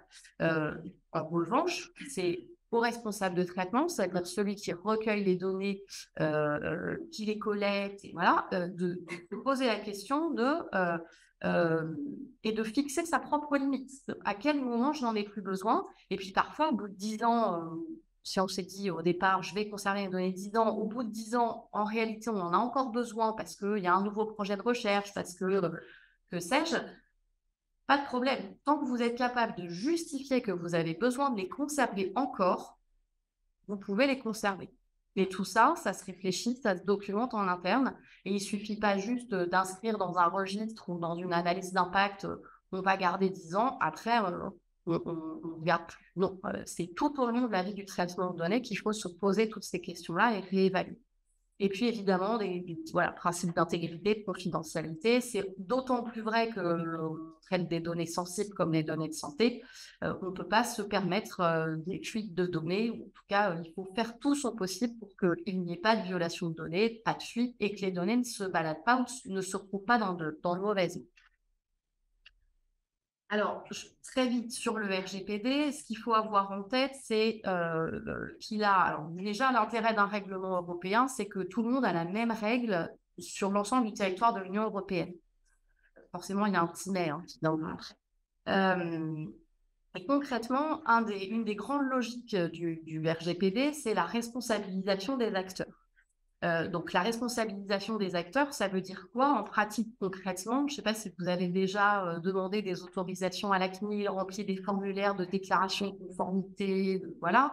Depuis 2018, il n'y a quasiment plus de démarches qui doivent être effectuées auprès de la CNIL. Avant, par principe, il fallait faire des déclarations. Dans plein de cas, il fallait des autorisations. Tout ça, ça a disparu. Et maintenant, ce qu'on attend des responsables de traitement, donc ceux qui collectent des données, qui constituent des bases de données, des fichiers, etc., c'est de documenter en interne leur traitement de données. Tout ça sous l'égide du délégué à la protection des données. Et ça aussi, c'est un, vrai apport du RGPD. Le, délégué à la protection des données, dans certains cas, il est obligatoire d'en désigner un. Euh, si vous manipulez régulièrement des données de santé, a priori, vous êtes certainement dans le, dans le cadre des obligations de désigner un DPO parce que euh, vous manipulez régulièrement des données sensibles qui concernent des personnes vulnérables, à large échelle, etc. etc. Sauf que logique de responsabilisation, on simplifie les formalités, on allège, c'est très bien, mais c'est pas vrai dans tous les secteurs et encore moins dans le secteur de la santé. Euh, alors concrètement, en France, euh, le, cadre applicable, je l'ai dit, hein, c'est le RGPD, on fait partie de l'Union européenne. Qu'il faut avoir en tête, c'est que euh, a certaines positions particulières euh, la possibilité, le législateur au niveau national peut aménager un cadre euh, un peu spécifique euh, qu'on va retrouver notamment dans la loi informatique et liberté et dans son décret d'application. Alors après, je, je, dis aussi, ça ne concernera pas forcément, tous les traitements de données à caractère personnel ne sont pas régis par le RGPD. Il y a aussi une directive qui concerne plutôt le secteur régalien, police, justice, etc. Mais voilà, qui, qui va continuer à s'appliquer dans certains cas. Et donc, dans certains cas, c'est uniquement la loi euh, qui va s'appliquer. Euh, alors, Arnaud l'a très bien dit tout à l'heure, les données de santé. Euh, je ne reviens pas sur l'article 4 du RGPD. Je précise un tout petit peu les trois catégories. La donnée de santé par nature, a priori, c'est très clair pour tout le monde. Un résultat d'analyse, un diagnostic médical, euh, c'est une donnée de santé par nature. Là où ça peut être un peu moins lisible, c'est pour les deux autres catégories. Ce qu'on va appeler les données de santé par combinaison, c'est simplement je combine plusieurs informations sur une personne et je vais pouvoir déduire une information sur son état de santé. On parlait des applis bien-être, euh, des montres connectées, que sais-je. L'appli euh, qui compte vos pas, dans laquelle vous complétez ce que vous mangez euh, et euh, à laquelle vous dites si vous dormez bien, si vous êtes content, si vous êtes stressé, voilà, a priori, nous, on va considérer qu'elle traite, elle collecte des données de santé. Si on suit une personne, je sais pas, pendant trois ans, qu'elle fait cinq pas par jour et que en termes de repas, elle se nourrit exclusivement de pâte à tartiner, a priori, on peut en déduire quand même quelque chose sur son état de santé. Donc voilà, ça c'est la donnée de santé par combinaison. Et ensuite, on a la donnée de santé par destination, c'est-à-dire que l'usage qui va être fait de l'information est un usage médical ou dans le domaine de la santé. On va considérer à ce moment-là que c'est une donnée de santé. Je prends par exemple euh, un SMS ou un texte écrit euh, sur un clavier d'ordinateur ou écrit à la main. A priori, quand vous envoyez un SMS à quelqu'un, ce n'est pas une donnée de santé. En revanche, si on utilise ce que vous avez écrit pour euh, diagnostiquer un trouble 10 ou pour un projet de recherche sur voilà, la dyslexie ou autre, là, on va considérer que c'est une donnée de santé parce que l'usage qui en est fait permet de nourrir un diagnostic médical, par exemple. Et une fois qu'on a dit tout ça, parce que c'est bien joli de dire qu'on a des données à caractère personnel et des données de santé, qu'est-ce que ça implique? Alors, ça implique déjà d'une qu'il faut respecter le RGPD et les grands principes que j'exposais tout à l'heure, mais ça implique aussi que euh, on va être en présence pour les données de santé de données sensibles. Et d'un point de vue strictement juridique, ce que prévoit le législateur, c'est que cette donnée sensible, alors on a aussi les données origine ethnique, les données biométriques, génétiques, il y a plusieurs catégories, euh, mais ces données sensibles, il est interdit de les traiter. Et c'est ça qui est prévu par le texte. C'est un principe d'interdiction. Et évidemment, comme tous les principes d'interdiction, on a un certain nombre d'exceptions, des cas dans lesquels on va pouvoir traiter des données de santé. Euh, et évidemment, euh, parmi ces, parmi ces cas-là, on peut passer à la, à la slide suivante. Merci beaucoup. Euh, parmi ces exceptions, alors évidemment, en général, quand, quand je dis, alors surtout quand il y a beaucoup de médecins, de professionnels de santé, quand je dis il est interdit de traiter des données de santé, le temps s'arrête. Euh, évidemment, il y a des exceptions. La première des exceptions, la plus évidente, c'est la prise en charge médicale. Évidemment, un médecin, euh, un infirmier, euh, une kiné a le droit de collecter des données de santé pour alimenter le dossier qui permet la prise en charge des personnes. C'est absolument évident. Il y a d'autres exceptions, notamment quand vous avez le consentement explicite de la personne concernée. Euh, on peut également traiter des données de santé quand on poursuit un motif d'intérêt public dans le domaine euh, de la, de la santé. Alors concrètement, ça, c'est l'exception qui a été retenue le plus souvent dans les textes qui ont permis d'aménager, euh, notamment, le, je parlais tout à l'heure du système d'information CIDEP, donc la centralisation des tests de dépistage.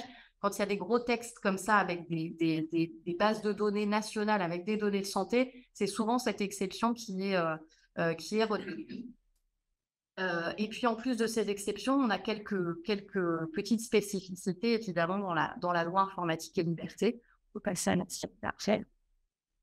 Merci. Euh, et donc, je disais tout à l'heure que, euh, en fait, le, le, RGPD prévoit au niveau national la possibilité pour le législateur d'aménager un certain nombre d'exceptions, de prévoir un cadre juridique un petit peu particulier.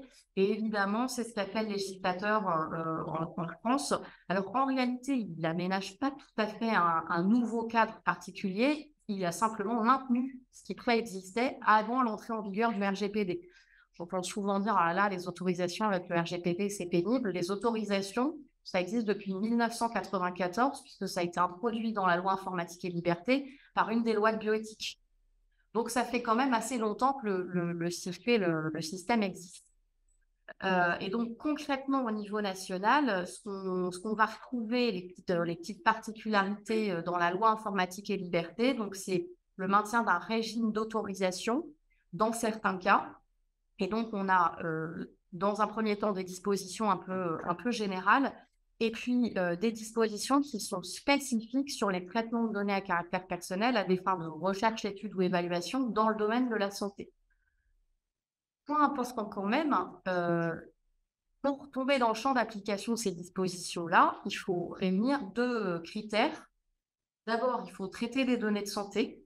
Alors, évidemment, j'enfonce un peu une porte ouverte. Mais si vous pouvez très bien faire une recherche dans le domaine de la santé sans traiter de données de santé. Si vous collectez des informations, je ne sais pas moi, sur les professionnels de santé, et, euh, là, il n'y a pas forcément de données à caractère personnel de santé.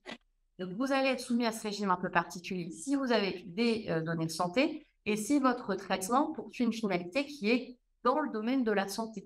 vous pourrez très bien avoir des études en sciences humaines, par exemple, où vous allez traiter des données de santé, mais on, parle dans ce régime d'autorisation. Il y a d'autres dispositions, mais euh, du coup, comme je, n'ai qu'un quart d'heure et que j'ai déjà largement dépassé, je ne vais pas m'étaler là-dessus. Je voulais juste euh, euh, finir sur le. Je crois que c'est la dernière slide, après, j'arrête. là encore, alors, moi, j'en rigole, mais je comprends que ça puisse être un petit peu frustrant. il y a vraiment un sujet de visibilité de la loi. Euh, J'en conviens tout à fait parce que cette superbe section 3 euh, de la loi informatique et liberté, je rappelle que la loi informatique et liberté n'a pas été écrite par la CNIL. Hein. On n'est pas législateur. Parce que souvent, on dit quand même, vous n'êtes pas sympa à la CNIL. Et nous, on, on applique une loi en fait. On n'a pas écrit. Hein, Voilà, je, fais un petit euh, disclaimer, mais euh, c'est quand même important. Et ce qu'il faut avoir en tête, c'est que le, cette, cette fameuse section 3 avec son régime d'autorisation, etc., commence par un article qui fait une liste des traitements qui ne relèvent pas de la section. Donc, tous les traitements là qui sont listés dans la slide, euh, c'est des traitements qui peuvent être mis en œuvre sans autorisation de la CNIL. Évidemment, le médecin qui fait son dossier médical n'a pas besoin d'une autorisation de la CNIL pour mettre en œuvre son, traitement de données. Alors, il y a toute une, toute une liste. Je ne vais pas la détailler parce qu'on pourrait passer toute la journée. Euh, mais ce que je tenais euh, quand même à, souligner, euh, et, j'en finirai par là, c'est que je fais le lien avec la mission d'accompagnement que je détaillais un petit peu en, début de, présentation. on est tout à fait conscient que le cadre juridique, il est complexe. encore plus complexe quand on fait de la dans le domaine de la santé parce qu'on a des circuits administratifs avec des avis à demander à certains comités, pas à d'autres en fonction du type de recherche. Donc voilà, tout ça est très très compliqué. Nous, on essaye vraiment de, de, produire des référentiels, par exemple des méthodologies de référence. Quand on est conforme, on n'a pas besoin de demander une autorisation à la CNIL. On essaye de produire des guides, des contenus.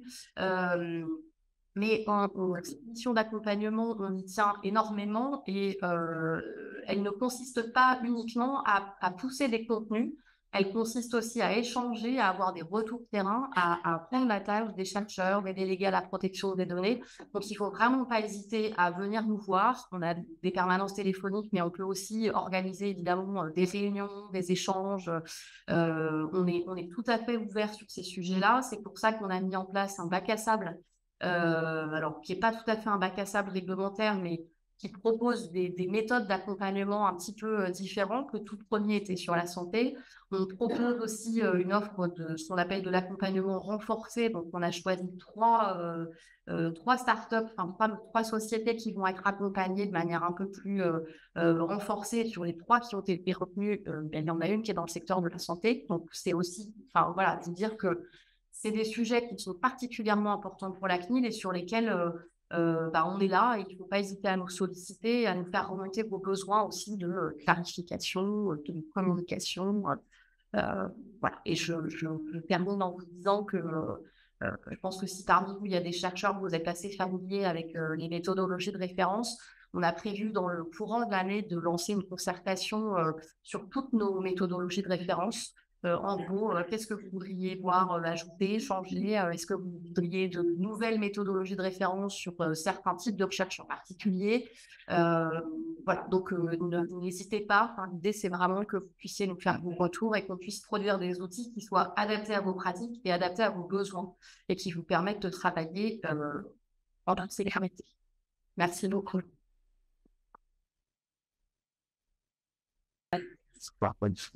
Super, merci.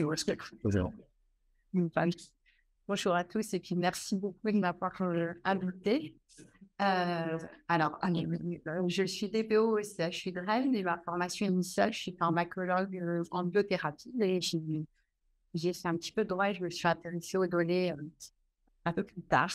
Donc, là, je vais vous parler de la donnée de santé en pratique, donc dans, mon, dans mon exercice professionnel au CHU de Rennes. Euh, voilà, donc le CHU de Rennes, euh, c'est un établissement public euh, qui a une triple mission de soins, enseignement et recherche. Donc, ces trois pôles sont, sont, poursuivis et tiennent à cœur des, des, différents acteurs de l'établissement. Et donc, au quotidien, euh, chacun euh, traite la donnée de santé et on se trouve, je me suis dévoilé mon introduction dans ma voisine, on, se trouve euh, typiquement quasiment à, chacun, à chacune de nos actions dans le régime d'exception en fait. donc on est, on est toujours en train de traiter des, des données interdites sauf exception. Voilà, donc j'ai pris euh, le schéma de la donnée de santé parce qu'en en fait, je vais essayer de vous présenter, euh, parce que comme euh, mes voisins et sûrement encore avec plus de difficultés, j'ai beaucoup réfléchi au sujet et je dire que ce n'était pas évident. Donc, je me suis dit que j'allais prendre les différents pôles, les trois, les trois patates bleues là, pour un petit peu les martyriser et, et voir de quelle manière on s'était un petit peu cassé les dents ou ce que ce qu'on pouvait avoir euh, sorti comme anecdote euh, qui pouvait euh, être, être intéressante pour vous, j'espère. Donc, la première, c'est la donnée de santé. Donc, c'est un peu caché, alors, qu'est-ce qu'il avait écrit? Oui, j'avais dû écrire la donnée de santé de la naissance au décès. En fait, parce que je ne sais pas si c'est possible. C'est une énorme question. Ça, ça dit. Euh, J'étais personnellement sur une stratégie de toucher le moins possible aux choses, pas de être responsable de rien. Ah, super. voilà, donc c'était bien de la naissance au décès du patient. Et en fait, le, questionnement qui était martyrisé, c'était s'il s'agissait bien d'une personne physique. Donc, en fait, là, ça questionne le début et la fin de la définition de la donnée de santé. Merci bien. Ah, super. Merci. Voilà, alors au niveau de la, naissance, donc qui normalement est la borne euh, du, du, début euh, de, la donnée de santé, euh, bah, on a été, pour ma part, j'ai été confrontée déjà au cas où un enfant devenu adulte interrogeait le, dossier patient de sa maman concernant les données euh, de, de, lui étant enfant, mais quand il était, de lui étant embryon, c'est-à-dire de lui avant euh, soit, euh, soit, en capacité d'être une, une, personne physique au sens du droit.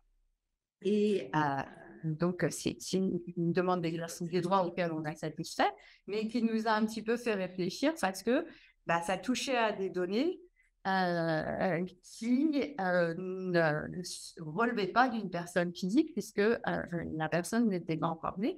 Mais ce qu'on a considéré, je, je, suis un juriste, c'est que bah, comme la question était formulée par un enfant qui était né et donc devenu adulte, bah, on considérait que rétrospectivement, ces données étaient dans la définition du valet de santé. Donc voilà, c'était le, premier sujet que j'avais trouvé un petit peu, euh, un petit peu amusant. Et puis concernant euh, la borne de fin, euh, se pose la question du, décès, évidemment, et notre problématique va vous paraître bien. On n'a pas toujours l'information du décès du patient. C'est pas si évident que ça, on la connaît. On a cette information-là. Si jamais le patient est décédé à l'hôpital, il y a eu tous les documents, tout, et, que l'information a été caractérisée, mais ce n'est pas toujours le cas. Donc, quand c'est le cas, ben, on a commencé à avoir des, mécanismes euh, avec un déroulé de recherche de directives particulières euh, que, la personne qui vient de décider aurait pu laisser à notre établissement. Euh, alors, ce qu'on encore très, marginalement, mais qu'on commence à trouver, c'est des oppositions à la réutilisation de ces données de soins. Donc, une directive qui est posée à Excel, bien évidemment. Donc, à ce moment-là, euh, on n'est pas en capacité d'avoir une granularité étude par étude. On l'applique à toute la réutilisation, en fait. Euh, voilà.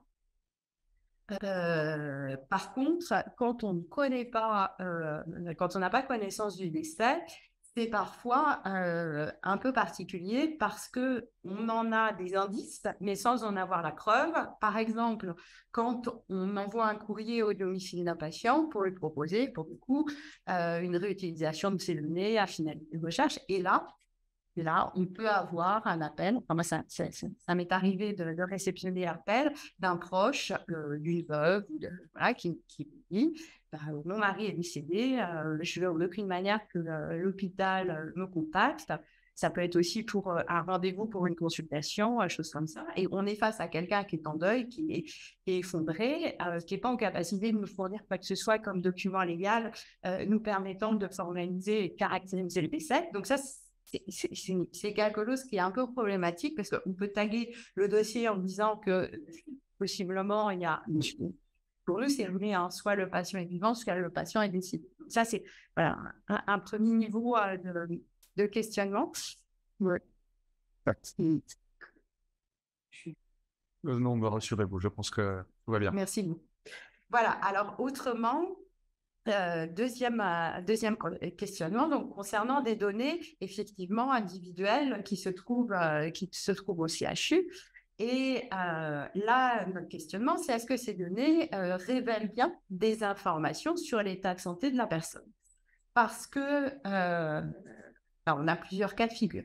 On a des données cliniques qui ont été générées dans des conditions de production au décours d'une consultation, etc. Donc, on tombe un petit peu dans la, définition, hein, j'allais dire presque intuitive, en fait, hein, de, la donnée de santé qui pose pas trop de problèmes. Quoique, Selon le professionnel de santé, euh, le clinicien il va trouver intuitif que euh, les données qu'il a recueillies lors de l'examen clinique du patient que lui-même a, participé à générer sont bien des données cliniques. Par contre, il pourra avoir plus de distance par rapport à cette définition-là vis-à-vis des données de biologie que son collègue biologiste, mais pas clinicien, aura produit à partir du prélèvement de son patient. Donc, c'est voilà, il y, a quand même, y a quand même des, des notions de ressenti. Je suis désolée, c'était mieux cadré, je ne sais pas du tout. Le message reste important. Bon, c'est gentil. Euh, il y a d'autres données, c'est des données techniques intermédiaires. Alors ça, c'est plus, euh, c'est plus complexe comme type d'interrogation. Euh, ça peut être des étapes, des données techniques qui sont des étapes vers une information qui effectivement révèle quelque chose sur la santé de nos patients c'est des données qui peuvent être extrêmement expertes, qui parlent à personne. Euh, à quelqu'un, euh, à, quelques, à quelques individus dans, un, dans l'énorme établissement euh, qui est le CHU de Rennes, qui, qui, compte pas loin de 10 000 salariés. Et puis, elles, sont, elles permettent de, de, matcher avec l'identité du, du patient si elles sont complétées ou croisées avec d'autres données. Donc là, c'est un niveau de complexité qui, euh, qui, qui, augmente un petit peu. Alors, pour vous donner un exemple, j'ai sorti une, euh, une séquence euh, en fait, qui est produite à partir du, du, sang des patients, en sachant que ce qui est parlant, ce qui est de la, de la génétique, mais partielle, c'est la ligne B. voilà, le reste, c'est des informations complémentaires qui peuvent permettre de donner des indications sur le lieu où a été générée la donnée, sur la date, sur, euh, etc. Euh, la, troisième, euh, la, troisième question que je trouvais intéressante, c'était, ça a été évoqué par plusieurs d'entre vous, c'est les données issues de dispositifs connectés des patients. Donc jusqu'ici, moi ce que j'ai vu, c'est des patients qui arrivent en consultation avec des données fournies par eux, donc qui ne sont pas encore des données de santé, à mon sens, et euh, qui mettent à disposition de leur médecin dans le cadre de leur consultation. Typiquement, euh, en cardiologie, euh, il y a une montre, je ne vais pas citer le, la marque, mais qui génère des très jolies, des très jolies données et ça peut réellement aider le médecin à accompagner son, patient et à, produire euh, son, acte de soin. Donc, des données qui initialement ne sont pas de santé de, changent de qualification à partir du moment où elles sont transférées à un professionnel de santé. Donc, c'est un, peu rigolo. Après, il y a d'autres. Euh, euh, il y a d'autres, d'autres sujets avec des données qui initialement sont des données de santé et puis quand elles sortent de chez nous, peuvent cesser d'être euh, également des données de santé. Euh, hein. Alors, euh, là, je voulais également évoquer les données utilisées en recherche. Alors, la recherche, c'est très, c'est très intéressant parce que c'est pas forcément l'essentiel de notre activité, mais c'est quelque chose qui est est un petit peu atypique en termes de, de, gestion et de traitement, d'accompagnement des traitements de données. Et puis, c'est quelque chose qui nous tient beaucoup à cœur parce que euh, euh, bah, c'est, euh, sincèrement, je pense que c'est un facteur de motivation pour, pour, pour, faire adhérer tous les, tous les professionnels à, l'engagement dans l'établissement et c'est quelque chose qui, permet de, les fidéliser euh, en tant que salarié de l'établissement dans une période où c'est pas si facile que ça euh, dans, le, dans le monde de la santé. Donc, euh, donc voilà. Alors, les données, on peut les produire à l'occasion d'une recherche, mais on peut produire des données qui d'emblée sont nouvelles et présentent un intérêt sanitaire. Donc là, il n'y a pas, il a pas de, questionnement. Pour nous, c'est bien des données de, santé. Par contre, euh, euh, il, peut, euh, il, peut se poser, la question peut se poser. Donc récemment, on a, on a interagi avec la CNIL qui a été très aidante sur, sur ce, ce dossier. Alors, je n'ai pas forcément tout défloré parce que je, je, pense qu'il va y avoir des communications et un papier sur, sur le sujet où euh, les données euh, générées étaient des données euh, produites par le service de médecine légale de notre établissement, donc qui sont des données qui sont un petit peu particulières. Donc là, on a vraiment interrogé le caractère de données de santé, des données qu'on produisait et qu'on manipulait, mais bah, comment, est-on fait pour construire notre, notre argumentaire? On s'est interrogé sur, sur la recherche des faits auxquels ces données se, rapportent et la finalité dans laquelle initialement ces informations ont pu être recueillies. Donc, on a, euh, on a vraiment euh, creusé le sujet parce que c'est une discipline médicale, en fait, qui, qui, qui, qui, qui génère, euh, qui, qui, manipule des données dont, dont la, la, qualité, la qualification peut, peut nous interroger. Donc, bah, tous les, toutes les personnes mentionnées euh, ont, travaillé en dehors de, de l'équipe de la CNIL, euh, mais ont, qui ont travaillé, ont travaillé sur le sujet. Et euh, c'était un vrai plaisir. Voilà, voilà. Alors, autrement, il y a le, le, sujet qui nous occupe beaucoup, qui est la réutilisation de données acquises à l'occasion des soins. Donc, alors que tout à l'heure, je vous, je, vous parlais de données générées à l'occasion d'une recherche. Là, c'est des données euh, qui existent, qui ont été produites à l'occasion du soin et euh, qu'on va réutiliser dans une, euh, dans une nouvelle finalité. Donc, donc, pour ça, en fait, le CHU a, constitué, comme d'autres établissements comparables, une cellule pour accompagner nos chercheurs et qui est vraiment spécialisée dans ce, euh, dans cet accompagnement qui est, euh, qui est particulièrement spécifique pour différentes raisons. D'une part, parce que euh, c'est très protéiforme. C'est-à-dire, il y a des données de il y a des études de réutilisation des données de santé qui sont simpliciées si c'est des, des, données qui, qui, sont restées localement. et puis, il y a d'autres, il y a d'autres types d'études qui sont quand même beaucoup, beaucoup plus compliquées. Oh, excusez-moi. Ouais. Alors, enfin, euh, bah, ce qui nous occupe euh, pas mal, comme d'autres établissements, c'est la qualification de, des données entre pseudonyme et anonyme.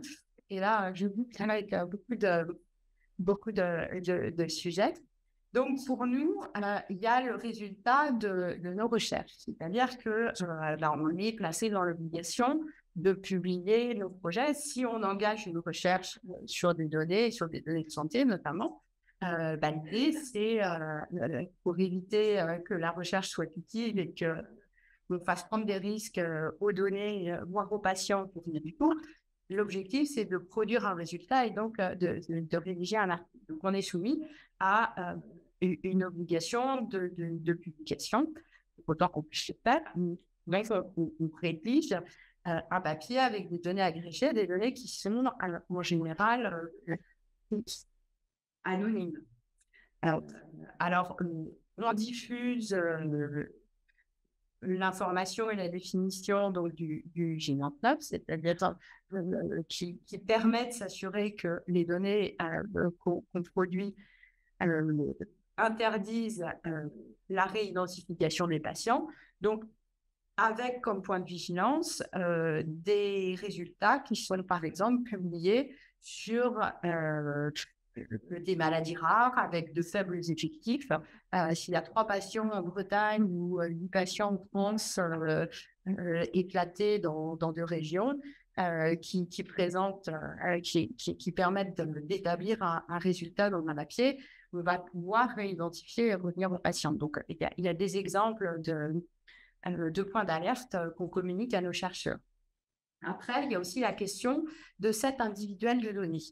Euh, parce que selon les disciplines médicales, il peut être rendu obligatoire de partager toutes les données brutes sur des plateformes dédiées par discipline. Donc là, à ce moment-là, c'est vrai que ça, change la donne en termes d'environnement réglementaire, d'obligation déclarative et euh, c'est un petit peu particulier. Et c'est vrai qu'il y a un gros travail qui est nécessaire auprès de nos chercheurs pour euh, bien, euh, bien leur faire entendre la différence entre pseudonyme et, anonyme. Et le message, donc, relativement simple qu'on essaye de, de faire passer, c'est de considérer par défaut les données comme pseudonymes.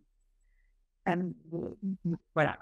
En pratique, on peut se heurter à, à, quelques résistances parce que bah, il n'a pas échappé à, certains que des données anonymes permettent de, de, de s'exonérer d'un certain nombre d'obligations du type information de patient, etc. etc.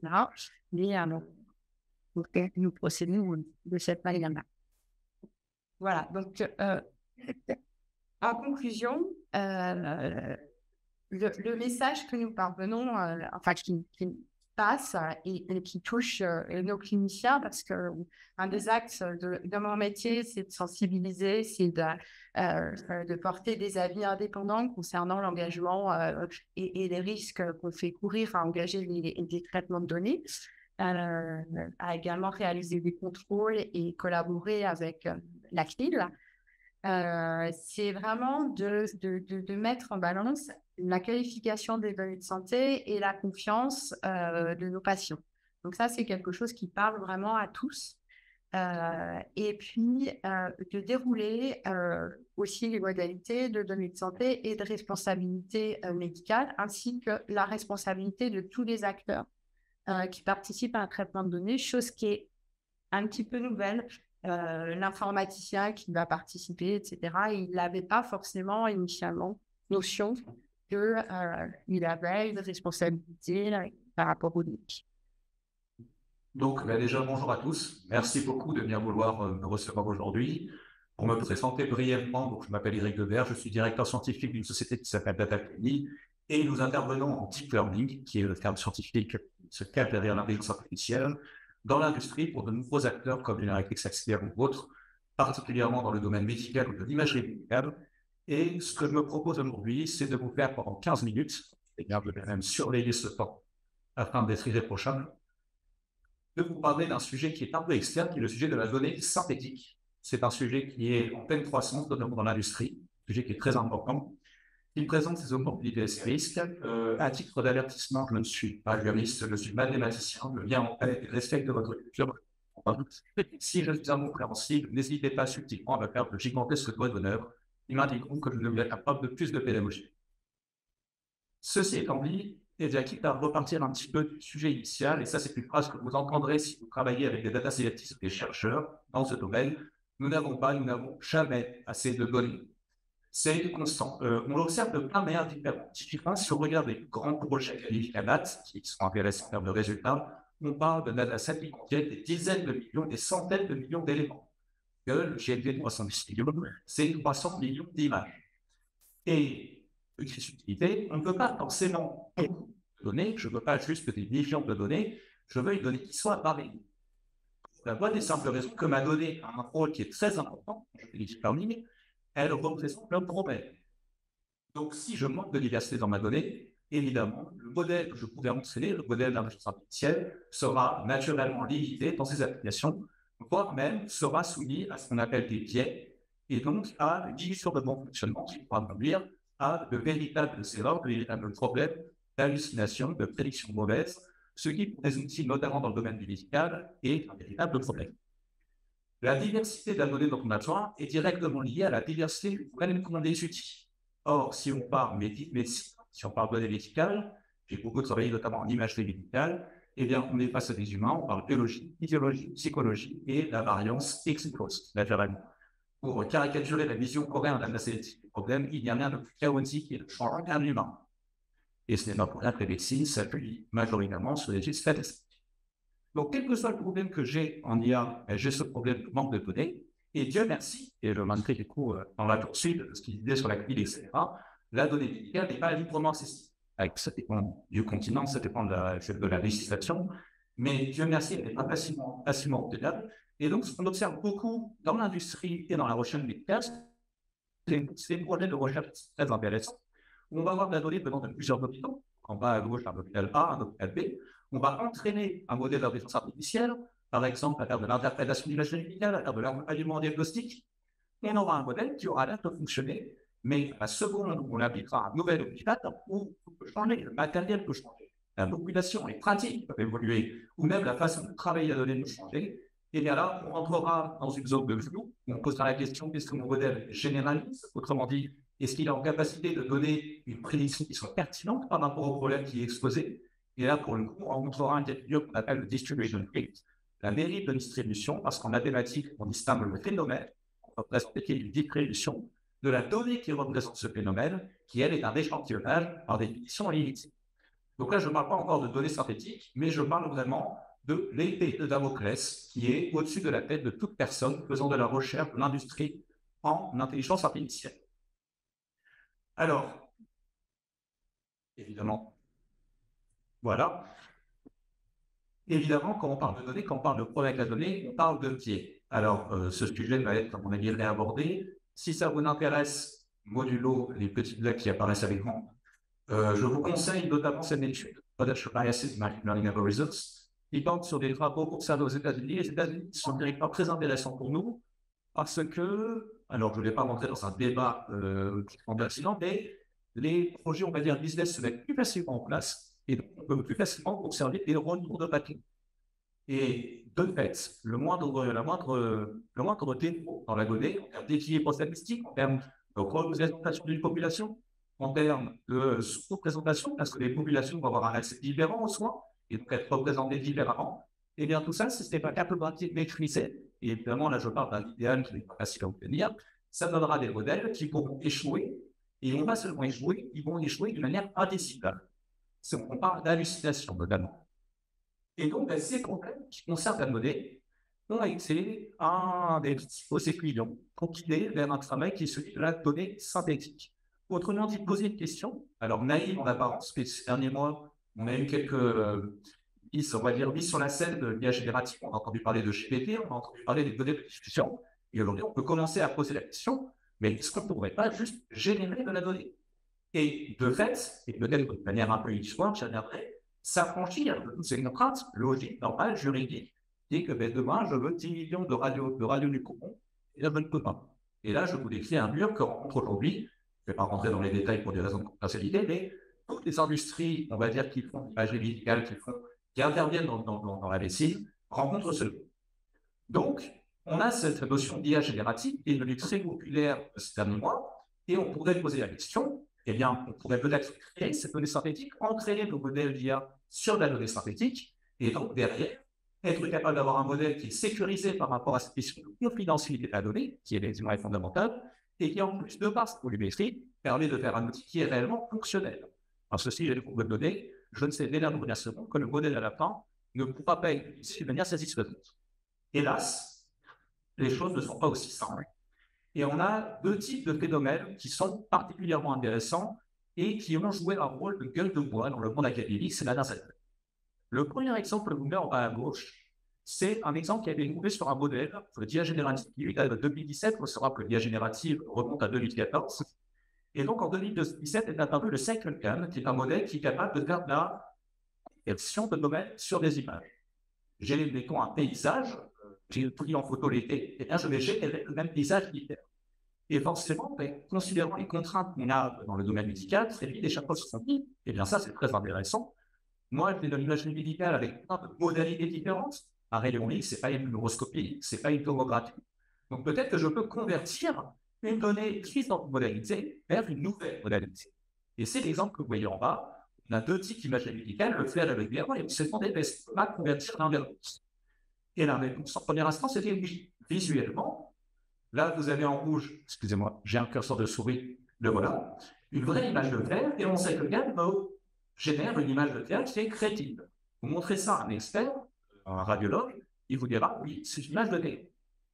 Il n'avait rien personne, on s'est vite rendu compte que ce modèle était créé et générait des hallucinations.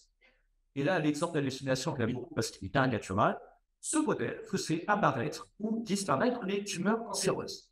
Bon, vous avez un outil scientifique que vous voulez utiliser, il va apparaître des tumeurs qui n'existent pas, qui à l'inverse fait disparaître des tumeurs qui existent, vous n'avez même pas envie de travailler avec.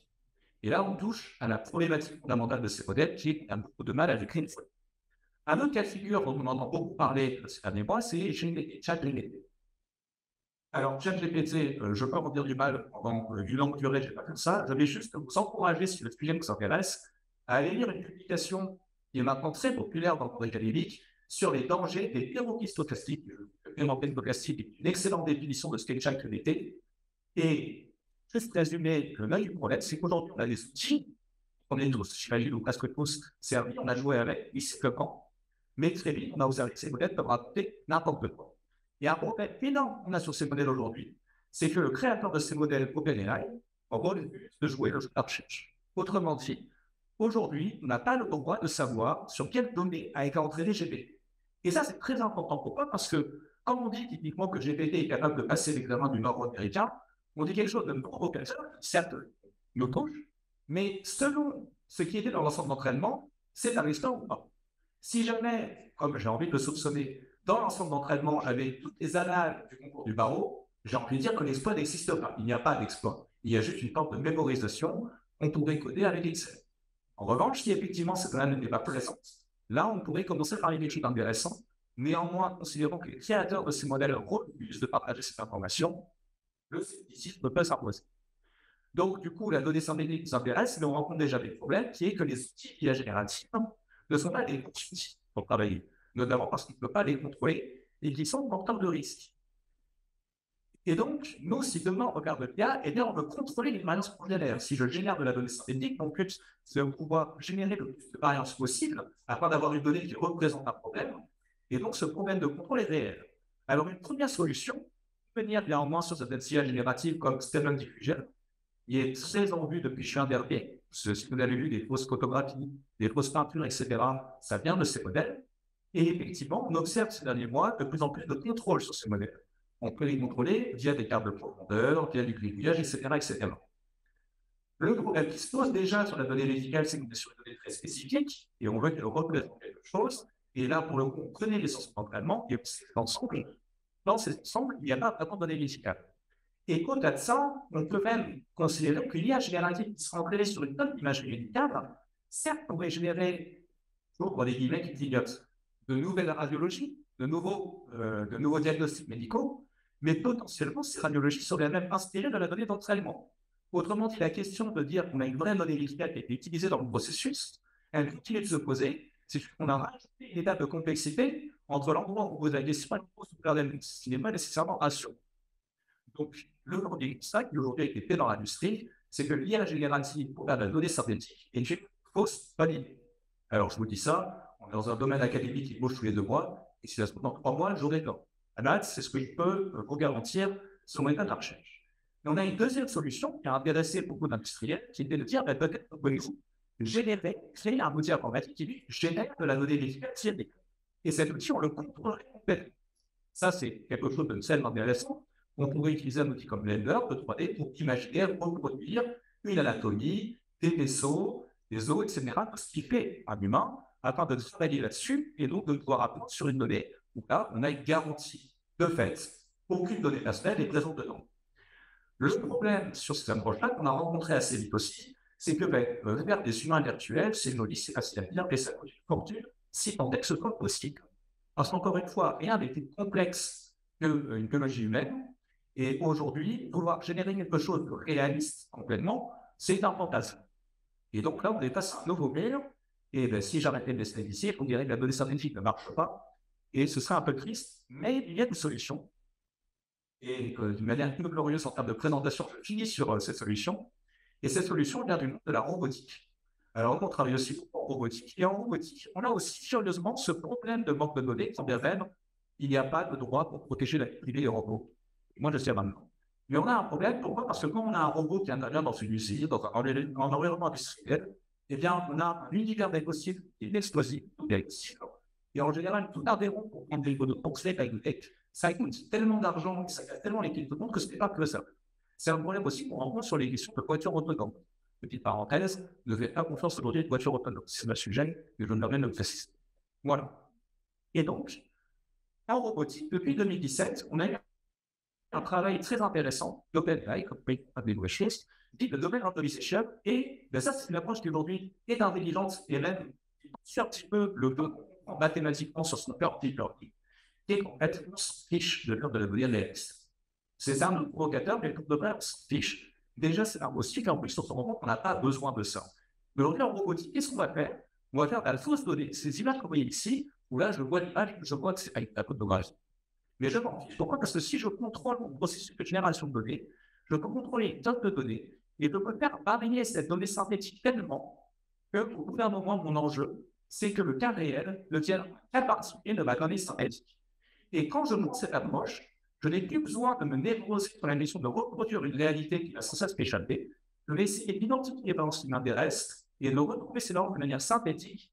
Je ne cherche pas à être autoréaliste, mais en revanche, je cherche à couvrir l'univers des possibles. Mathématiquement, je cherche à créer un, un échantillonnage statistique le mieux à la distribution qui m'intéresse. Ça, aujourd'hui, c'est ce qui marche c'est ça qui fait qu'aujourd'hui, on a des résultats robotiques qui peuvent fonctionner dans la vie réelle. Récemment, il y avait un exemple fun qu'autre chose de DeepMind avec des robots humanoïdes un petit peu qui à jouer au foot. Ces robots avaient appris dans des environnements simulés la donnée n'était pas réaliste.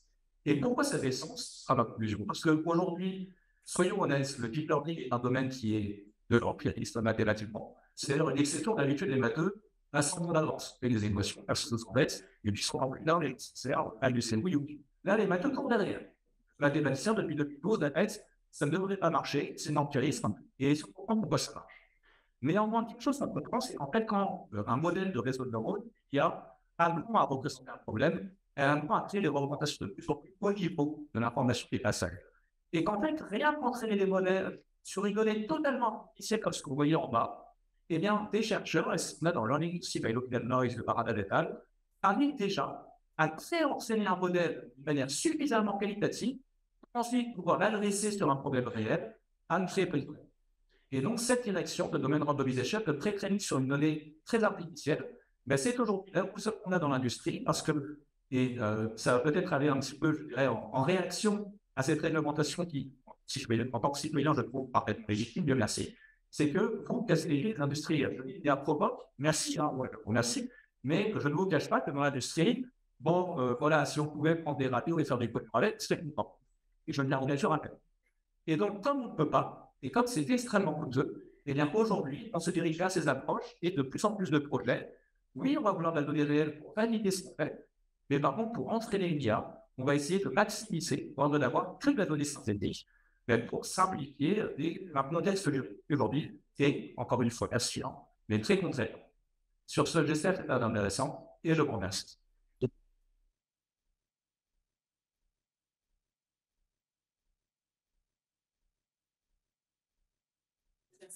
Ça, je vais pas la parole. Je sais pas s'il y a une question ou deux. Pardon, moi, je suis mais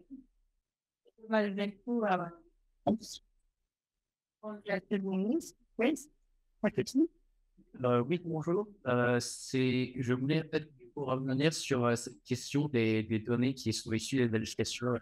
En fait, il y a eu un peu des, euh, euh, points de vue sur la façon dont on devrait considérer des données de santé, comme pas des données de santé. dans, la mesure, dans la mesure où une décision de la Cour de justice de l'Union européenne avait considéré qu'il fallait que les données sensibles devaient être considérées comme façon étendue, la protection devait être étendue à non seulement les données sensibles, mais aussi les données qui pouvaient induire des, des informations sur des informations sensibles sur les personnes. Est-ce que ça, par défaut, ça ne fait pas que l'on devrait considérer euh, les données générées par euh, les objets connectés comme des données sensibles? Comment on me regarde, donc j'en ai à, la euh, en fait, très sincèrement, euh, on a quand même plutôt tendance à considérer que ce qui provient des applis bien-être, objets connectés, etc., ce sont des données de santé. Concrètement, maintenant, si on reprend par exemple ce que j'expliquais tout à l'heure sur les, données de santé par croisement, si votre appli c'est juste un podomètre et que ça compte le nombre de pas, ne peut pas forcément déduire une information sur la santé. si vous n'avez pas forcément toujours votre téléphone votre montre ou votre truc dans la poche, donc voilà, enfin, c'est pas, pas forcément significatif. J'ai volontairement pris l'exemple de quelqu'un qui euh, voilà, va être suivi pendant 15 jours, etc. Parce que là, il n'y a, pas tellement de doute. Alors, euh, c'est facile d'enfoncer des portes ouvertes, prendre des exemples, mais bah, honnêtement, d'une manière générale, les applis bien-être, à partir du moment où vous avez euh, deux, trois informations, on tourne quand même assez rapidement dans la donnée de santé. Voilà. Et le, justement, un des gros apports du RGPD, parce qu'il y a cette jurisprudence de la CJUE, mais jusqu'à l'entrée en vigueur du RGPD, il n'y avait pas de définition juridique de la donnée de santé. et, du coup, on avait une lecture un peu souple. Enfin, typiquement, les données des applis bien-être, on ne considérait pas que c'était de la donnée de santé parce que je pense que c'était une lecture un peu opportuniste en se disant c'est tellement compliqué de, suivre le régime juridique des données de santé parce que c'est très contraignant on va essayer de faire sortir un peu ce qu'on peut faire sortir. Mais depuis l'entrée en vigueur du RGPD, la définition, j'allais dire, elle est claire, elle est claire parce qu'elle est extrêmement large. Et du coup, euh, oui, enfin, moi, je vous avoue, moi, les applis bien-être, ça fait pas tellement de, doute. À partir du moment où vous avez plusieurs variables, on, on quand même assez vite pour la donnée concernant la santé. Mais ce n'est que mon merci.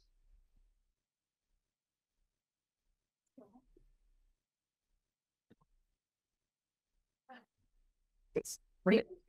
Euh, je, je suis encore Hélène, euh, pardon.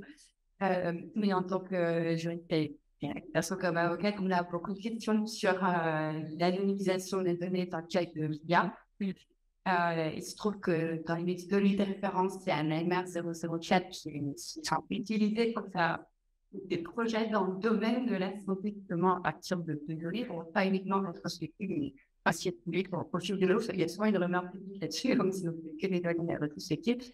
Et ma question, c'est voilà, on a vu le SDTM euh, produire des guides, euh, notamment un guide qui rappelle bien qu'une fois les données anonymisées, on sort du RGPD, mais avec des, quand même des informations dans, dans le de guide sur ce sujet-là qui dit qu'on est en attente d'un autre guide euh, sur justement les principes juridiques parce qu'ils euh, ils aident sur l'évaluation du risque de réidentification.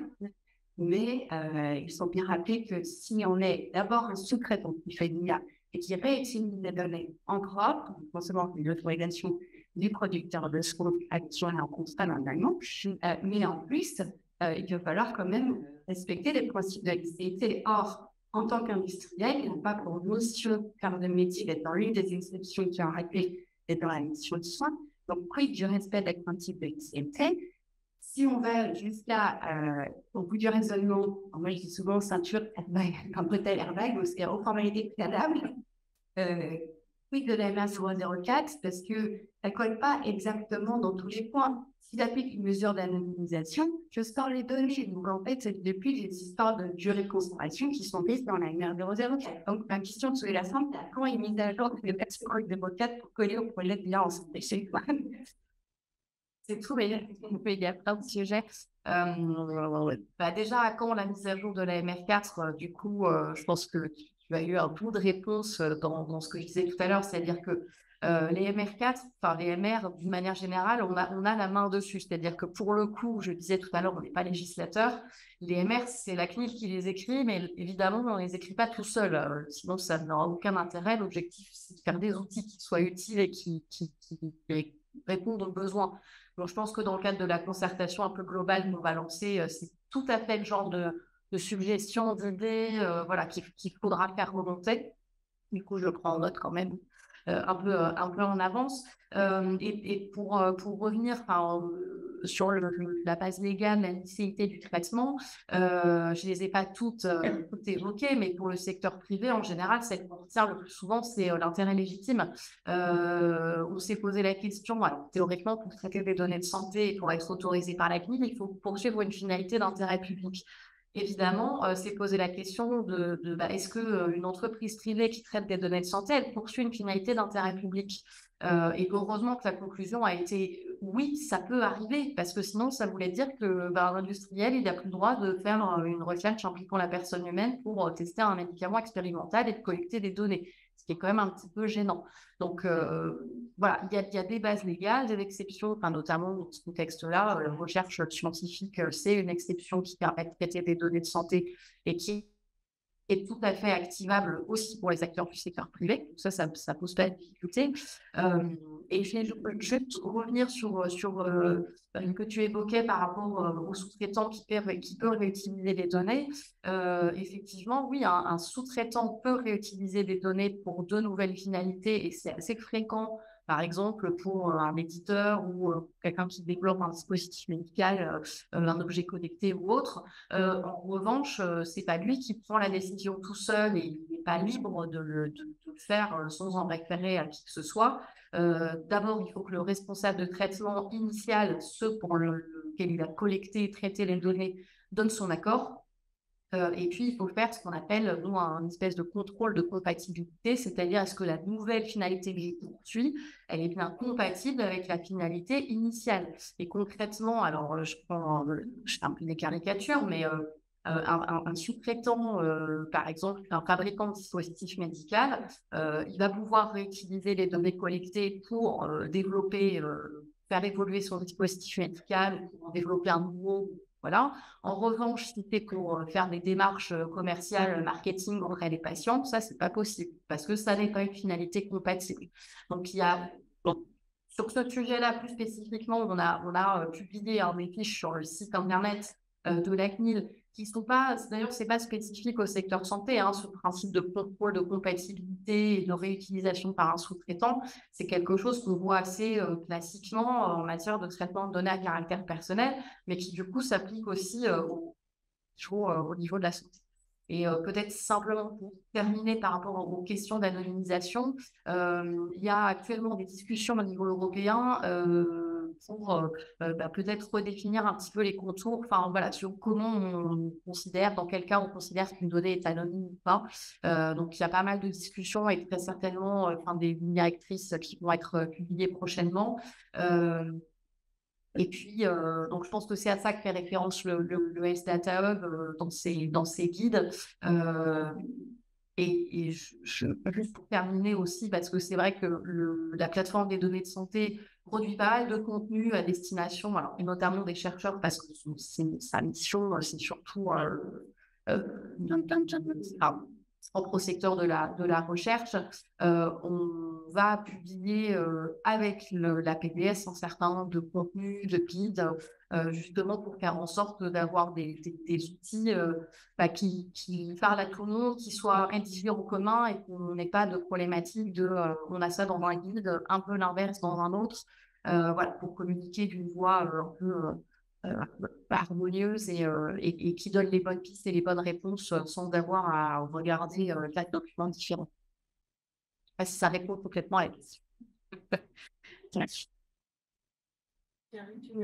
J'avais une question, mais je... non, c'est une question que j'avais, mais sinon, non, allez, euh, en fait, à propos de la planning synthétique, euh, super intéressant. En fait, est-ce que ça pourrait pas faire un lien? Est-ce qu'on va vers la standardisation euh, des données, alors que l'homme, l'homme est complètement euh, différent et inattendu. Et donc, euh, à force de faire des choses trop perfectionnées, eh bien, est-ce que ça ne pourrait pas créer des modèles faux C'est une excellente question. ça, oui, on se mais quand même la face à la donnée a toujours des biais. la donnée santé n'existe pas, donnée n'apparaît pas par génération spontanée sur un disque dur. Et donc, dès lors qu'on service de la donnée, effectivement, on va produire des pieds. Ça, c'est une certitude. En revanche, c'est l'énorme différence, vu qu'on génère cette donnée, on peut se donner l'opportunité de contrôler. Et ça, déjà, ben, c'est une révolution par rapport au cas de figure où je développe un modèle IA sur une donnée qui est statique, avec une mise en XOPICO, où là, je suis victime de mes biais et potentiellement, je ne peux rien faire. Ça, c'est sûr. Euh, ceci étant dit, aujourd'hui, c'est le meilleur pari, et c'est dire les bonnes réponses. De toute façon, aujourd'hui, en médical, euh, un modèle IA n'a pas vocation à faire de l'automatisation, il n'a pas vocation à la clinique. Et à ma connaissance, alors la dernière fois que j'ai parcouru les patients documents des autorités de régulation, c'est un an et demi, mais à ma connaissance, aujourd'hui, vous ne soumettez pas un produit qui fait de l'IA, qui fait de médical automatisé.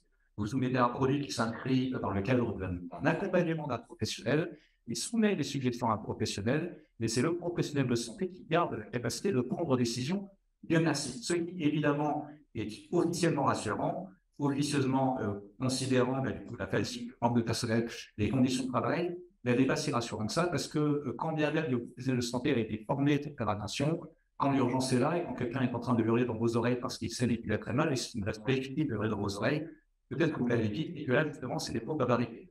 Donc, pour conclure, euh, aujourd'hui, Le deep learning c'est un domaine encore académique très nouveau, où on se spécifique pour faire des applications, mais autant j'ai beaucoup de travaux académiques sur des nouveaux modèles d'application, autant sur la robustesse, le contrôle, la qualité d'un modèle, les travaux académiques sont, sont très rares.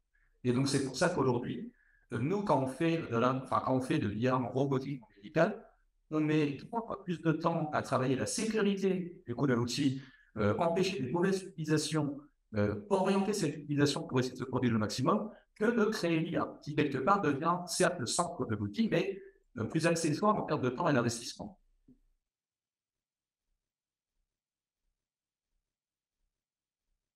Dernière question. Oui, si vous avez une question pour Eric, mais taquiner un peu les juristes pour taquiner un petit peu aussi. Euh, lorsque vous faites de la modélisation par le pied de la mathématique, la question, je pense que une des questions qu'on se pose, c'est la question de la un potentiel au corps humain.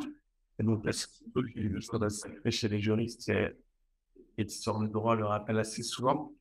Alors, je vais essayer de me remettre en cause en tant que juriste. Est-ce que vous auriez des garanties euh, sur le fait que vos modèles ne puissent jamais porter atteinte à l'intégrité du corps humain?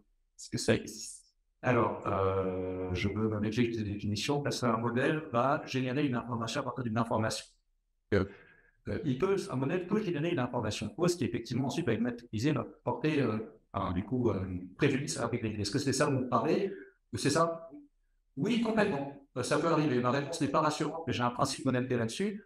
Aujourd'hui, on est sur un domaine très balbutiant. Aujourd'hui, même quand vous voyez une publication scientifique, vous dites oui, on arrive à détecter les cancers du, c'est l'affirmation est fausse. La vraie affirmation, c'est dans un dataset de 800 individus acquis à tel endroit, on a réussi à détecter tant de pourcentage de Donc déjà, ça, à la limite, on reste dans le domaine de la recherche en médecine, de façon de des statistiques. Mais effectivement, aujourd'hui, la plupart des modèles qui existent, typiquement, ne gèrent pas d'incertitude. Et ça, c'est, euh, vous l'avez observé, vous l'avez déjà utilisé, il va pouvoir vous affirmer des choses ou fausses avec la même confiance. Et vous n'aurez nulle part un petit qui vous dira, là, je suis certain, là, je suis incertain. Alors, il y a des travaux de recherche en mathématiques, learning, qui essaient de travailler la certitude, mais ça, c'est aujourd'hui encore en arrière et c'est peu appliqué. Mais aujourd'hui, cette notion de la certitude n'existe pas. Et donc, un modèle IA peut, et d'ailleurs pas, à un moment, dire n'importe quoi avec assurance. Et c'est pour ça que nous, typiquement, quand on travaille sur la sécurité d'un modèle IA, alors on peut parler médecine, mais même quotidien, demain, j'ai un agent autonome qui s'est accompagné d'individus, je pose la question, et bien en fait, le vrai raisonnement, c'est de dire, pardon du principe que le modèle peut faire n'importe quoi, comment est-ce qu'on protège contre ça On parle d'un de l'échec gigantesque, mais on ne peut pas échapper. Euh, pour compléter ça, euh, je vous invite à consulter, il y a actuellement un procès qui arrive aux États-Unis contre Tesla sur la voiture autonome. Il s'est passé quelque chose de très intéressant. Alors déjà, c'est un procès américain, donc on a accès à une pièce. Ça, c'est intéressant. Les avocats de Tesla ont expliqué dans leur plaidoirie que, alors plaidoirie, mais le document initial avant les violences, la voiture autonome n'était pas une vraie promesse de service, mais plus un argument commercial destiné à perdre Ce qui en dit long sur, quelque part, la fiabilité la confiance. On peut avoir là, moi, en tant que mathématicien, non, je ne peux pas faire confiance aveuglement à un modèle de learning. Je ne suis même pas capable d'expliquer pourquoi il a l'air de marcher. On en est là.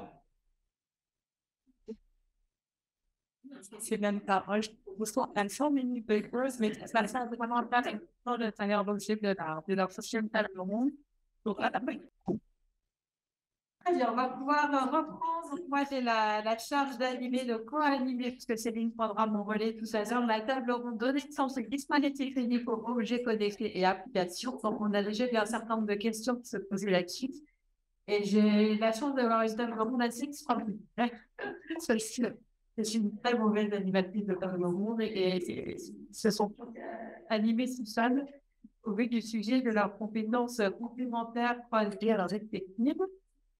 Alors, est-ce que je, je, je, me lance dans la présentation de tous les, tous les intervenants? Alors, peut-être quand même, parce que je vais donner la parole à, pas forcément dans d'ailleurs, puis dans le programme, Florence et Jaga, donc, euh, que vous êtes nous dans le petit sur des questions très précises sur les référentiels de la CNIL, qui est euh, euh, euh, avocate spécialisée sur ces questions de santé numérique. euh, au cabinet Wisbo, qui intervient dans le même de euh, droit de la santé à Rennes et qui est très spécialisée sur ces questions. Sandrine qui vient de terminer une tournée magistrale à Harvard sur les blockchains. on était ensemble, on est tous les deux ensemble dans l'euphorie de notre, de notre tournée, qui, qui est, qui est une, collègue avec qui on travaille sur beaucoup de projets, notamment sur le des blockchains, pour investir spécialiste de droit fondamentaux. Et je l'ai Nicolas Robin avocat, un docteur en droit, spécialiste en droit de la cybersécurité, aussi un ancien étudiant de, de RET. Hein, alors, ceux qui ne savent pas, vous devez dire un petit peu toutes les perspectives qui seront ouvertes. Voilà, et qui travaille un petit peu sur ces sujets. Donc, euh, je, je dirais en un mot tout à l'heure les, les, sujets qu'il pourra aborder sur la question de l'utilisation des données de santé dans des, dans des cadres commerciaux, de relations commerciales. Frédéric Michéa, qui est la co-directrice de euh, droit, droit européen, droit de l'Union ici à Rennes, qui, est l'une de nos spécialistes dans l'axe numérique et droit européen, qui travaille sur beaucoup, beaucoup de sujets.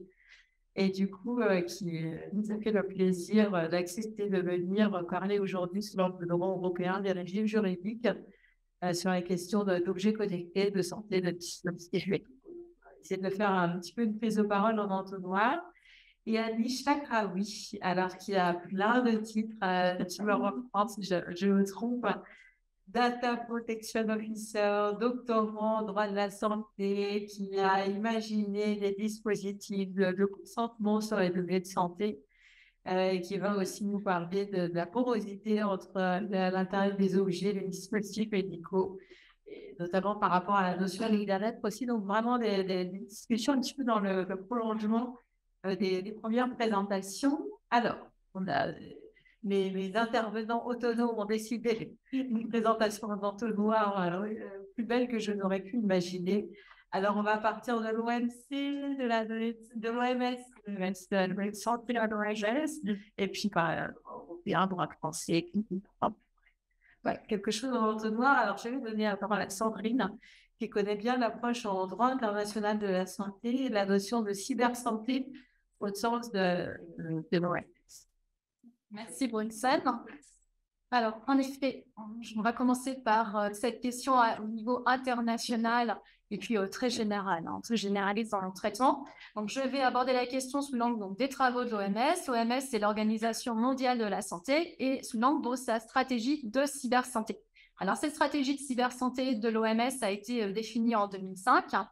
je, vais, je vous donne la définition. En la lisant, ne pas commettre d'erreur elle consiste à utiliser, donc, selon des modalités sûres, et c'est là où on aura la question de données, et offrant un bon rapport coût-efficacité, et on comprend aussi au regard des, questions euh, économiques qui se posent aux États. Et ça consiste donc à utiliser les technologies de l'information et de la communication à l'appui de l'action de santé et dans des domaines connexes, dans les services de soins de santé, la surveillance sanitaire, par exemple. Donc ainsi, sous cette désignation de la cybersanté, on retrouve les dossiers de santé sous format électronique, la télémédecine, la santé mobile ou euh, l'utilisation euh, du big data exploité par l'intelligence artificielle euh, notamment. Les objectifs qui sont énoncés par l'OMS en la matière sont, alors sans surprise, l'amélioration du travail des soignants, l'amélioration des soins aux malades, mais aussi il s'agit pour l'OMS de favoriser la transparence des activités de santé.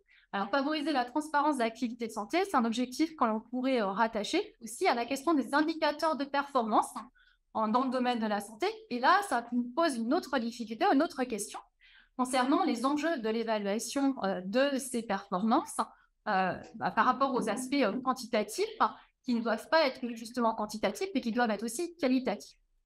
Alors, dans ces travaux, l'OMS s'attache à signaler qu'un nombre conséquent d'États, donc dans une dernier recensement, c'était 120, 120 États ont mis en œuvre des stratégies nationales de cybersanté. Alors, bien entendu, soit au-delà des, considérations de l'OMS, on ne peut pas se cacher que toutes les stratégies nationales ne sont pas initiées euh, par la stratégie de l'OMS. Mais euh, quoi qu'il en soit, euh, on a quand même 120 États qui ont repris qui ont au niveau national cette tragédie de cybersanté. Mais alors, si je reviens juste sur un plan avant de s'enorgueillir de ces éléments, eh bien, il faut noter qu'il y a eu des tensions, et il y a encore des tensions et des débats qui sont parfois âpres dans des enceintes de l'OMS sur la question de, du recours à la cybersanté. Dans un contexte économique tendu, la question a été, dans ces termes, faut-il acheter des ordinateurs ou des vaccins? Comment pouvoir penser acheter des ordinateurs alors que l'argent devrait aller aux vaccins La cybersanté porte en elle euh, les germes de sa propre vulnérabilité. Les cyberattaques n'en sont qu'un des éléments, ce qui génère de nouvelles tensions et euh, de nouveaux enjeux. Et alors, pour tenter de relever quelques grandes tendances, hein, dans le temps très limité maintenant, et quelques grandes orientations des travaux de l'OMS dans le cadre de la cybersanté, notamment en lien avec les modalités sûres qui étaient évoquées dans la définition, euh, je voulais donc en quelques minutes signaler que l'OMS réactualise cette stratégie régulièrement. La dernière stratégie en date est celle de, la période 2005-2025, de, pardon, 2020-2025, alors avant, pendant et suite post-Covid. Euh, et parmi les orientations et les travaux récents, on voit la volonté d'aborder euh, des sujets dans l'air du temps. Par exemple, 2021, l'OMS adopte un guide sur l'éthique et la gouvernance en matière d'intelligence artificielle et de santé en 2022 un guide sur la télémédecine. Euh, en même temps, il faut relever, alors j'ai pas le temps de développer le contenu des guides, mais je voudrais qu'on relève une certaine frilosité de l'OMS, hein. frilosité de l'OMS en matière euh, d'établissement de ce cadre euh, applicable. Alors cette situation, elle s'explique par les compétences de l'organisation et elle conduit à qualifier juridiquement un certain nombre des prises de position d'OMS eh de soft law, de droit souple, de droit non contraignant. Et en effet, je vous donne une illustration, la terminologie qui est choisie euh, par l'organisation peut parfois viser à ne rien imposer aux États, automatiquement. Une illustration, par exemple, on a une formule qu'on trouve dans un des documents. L'OMS invite les États membres à élaborer, selon qu'il conviendra, une législation ou une politique, la même chose, en matière de protection des données de santé, conforme aux obligations en matière de droits de l'homme, le rassurant, et à communiquer, à les communiquer facultativement à l'OMS. Vous conviendrez avec moi que la formule est pour le moins, pour le moins de beaucoup de précautions. Je vous remercie de votre attention.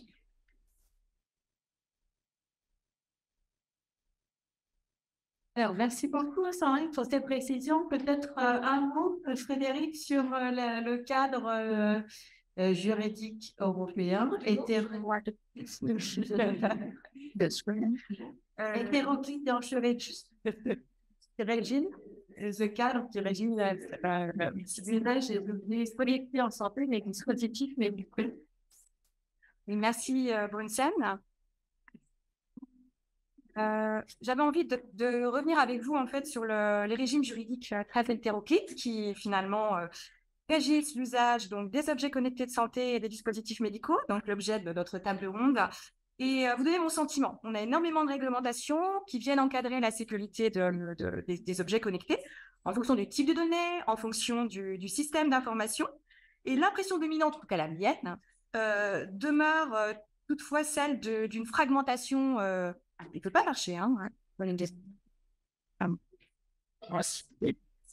une fragmentation euh, très très complexe euh, du cadre juridique euh, applicable, un empilement de règles et d'exigences qui se recoupent en fonction du champ d'application matériel des, différentes pièces du puzzle européen. Et je pense qu'on va avoir dans les années à venir des articulations normatives très très délicates parce qu'on a des règles qui régissent des catégories juridiques différentes.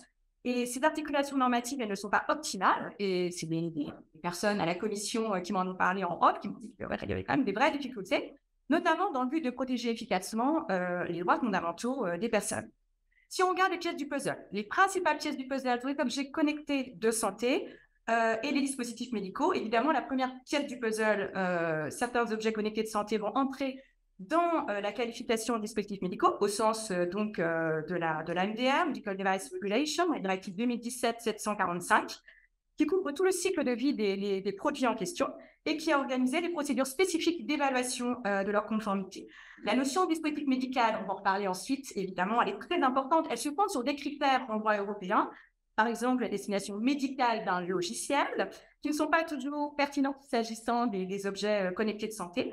Et depuis 2007, la définition du dispositif médical, elle intègre les logiciels, y compris en tant que tel, ce qui est une très bonne chose, mais des doutes demeurent, on va en parler, sur la détermination euh, de ce qu'est une finalité médicale pour un objet connecté. Ça, c'est vraiment une, grande difficulté.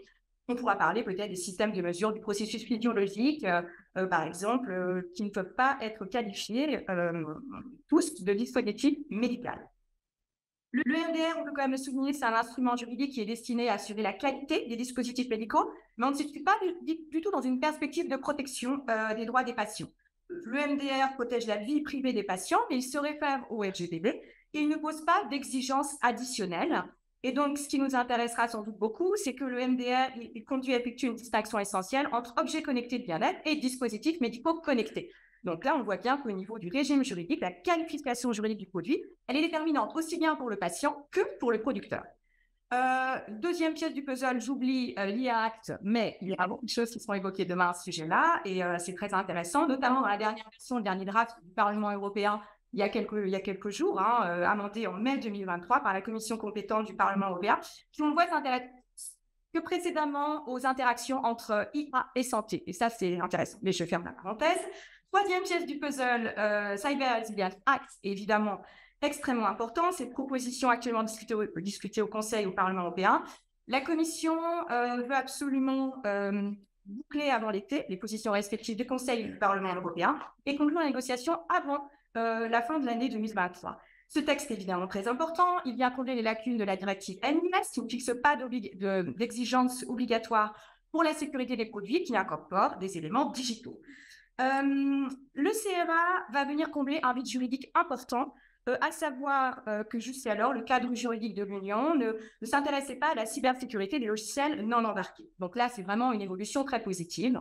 Au sens du CRA, on a beaucoup de produits critiques qui vont intéresser le, milieu euh, de la santé, évidemment, les systèmes d'exploitation de tout type, les compteurs connectés, les contrôleurs pour boutiques, par exemple, ou encore les smart cards.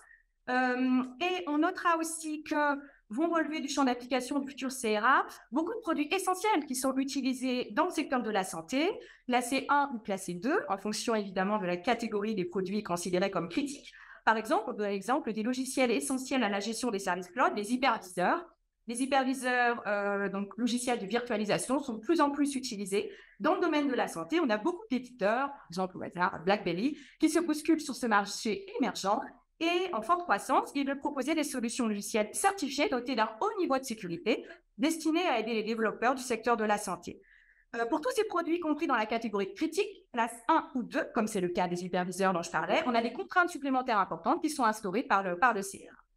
Quatrième pièce du puzzle, la proposition de règlement relatif à l'espace européen des données de santé, euh, très bien évoquée tout à l'heure par, par un de nos collègues. Évidemment, parmi les points juridiques les plus délicats, Quant au chevauchement des réglementations pertinentes, figure le choix, c'est vraiment un choix politique de la Commission, d'intégrer dans le chapitre 4 de la proposition du règlement les applications bien-être et autres applications digitales par opposition aux, logiciels généraux utilisés dans l'environnement de soins de santé. Le chapitre 4 de la proposition euh, de la Commission facilite, on l'a vu tout à l'heure, l'utilisation secondaire des données de santé électroniques pour la recherche, pour l'innovation, Or, l'inclusion de toutes ces applications bien-être dans l'utilisation secondaire des données relatives à la santé au titre de ce chapitre 4 est fortement critiquée par le Comité européen de la protection des données et le Contrôleur européen de la protection des données, lesquels ont publié en juillet 2022 un avis conjoint. Euh, et les deux autorités recommandent aux législateurs de soustraire euh, du champ du chapitre 4 de la proposition de règlement les données collectées euh, par les applications bien-être et autres applications digitales et de respecter plus strictement un principe clé dont nous avons déjà parlé, le principe de, de minimisation visé dans le RGPD.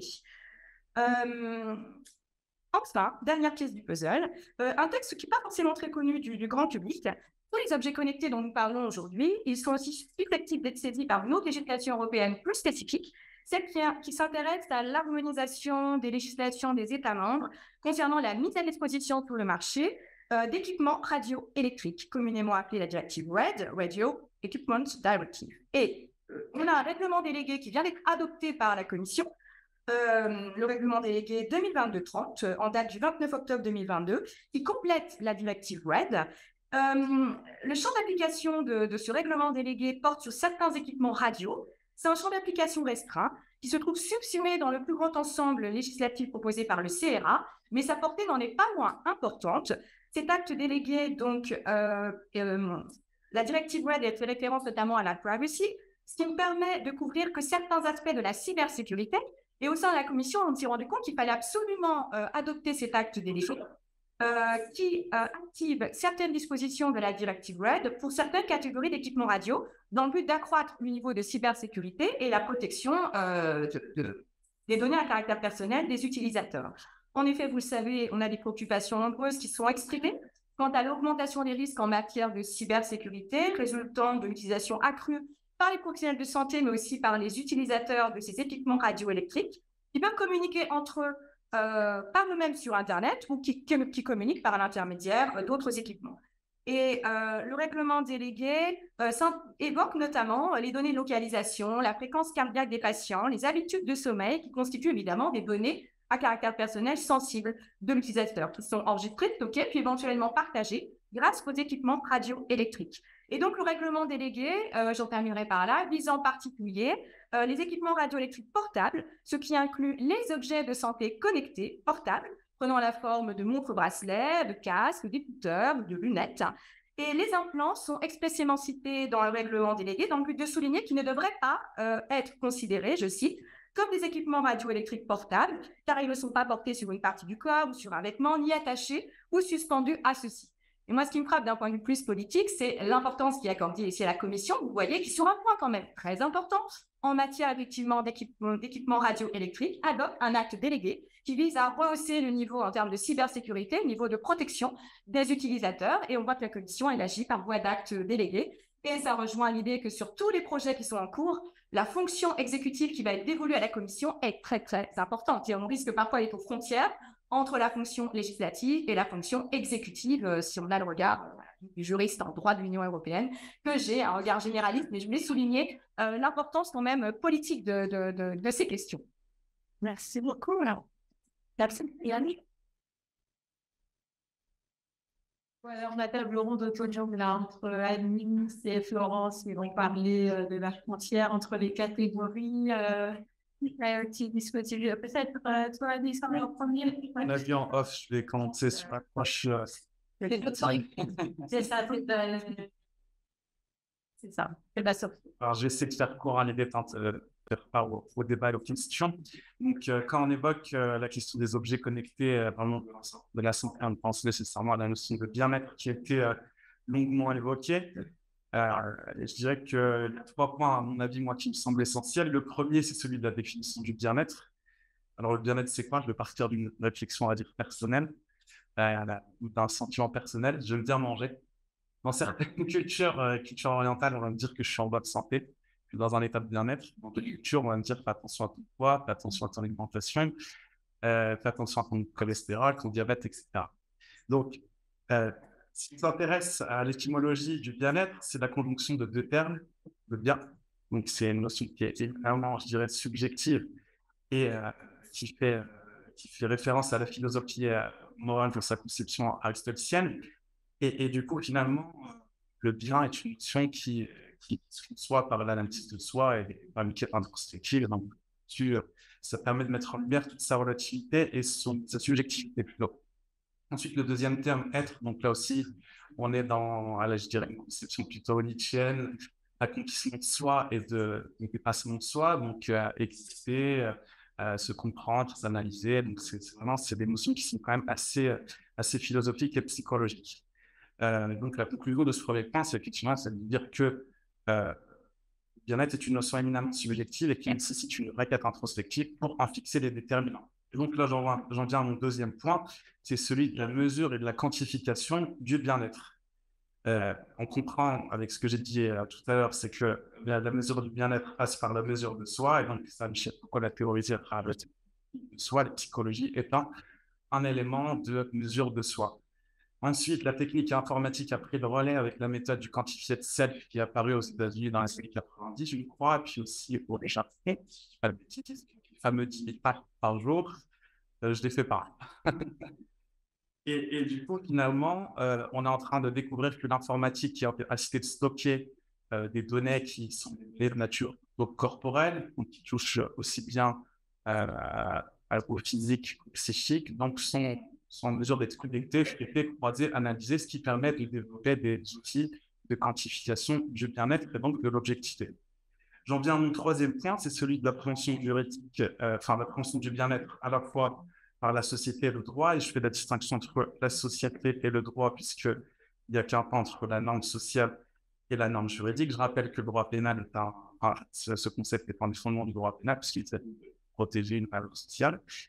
Euh, en sociologie, lorsqu'on étudie un objet, on parle de fait social. Si ce fait social est épousé par le nombre, on parle alors de norme sociale. Et là, j'ai c'est celui qui fait le distinguo entre les solidarités mécaniques et organiques. Je schématise, hein, désolé pour la vulgarisation. Arabe, je fais comme les Romains pour la solidarité mécanique et pour les solidarités organiques, on privilégie l'individu. Donc, le paradoxe aujourd'hui, c'est qu'on a des standardisations, des méthodes de standardisation de bien-être avec les comportements qu'on nous préconise. Et donc, cette quantification nous fait rentrer dans une forme de solidarité mécanique avec des comportements adoptés. Et toute la question va être de savoir si on va passer de la norme sociale à la norme, juridique. Je n'ai pas forcément la réponse. En tout cas, le droit a déjà appréhendé des notions très complexes comme celle de l'identité qui a donné lieu à la personne à l'état civil et qu'aujourd'hui on se pose des questions autour de l'identité numérique.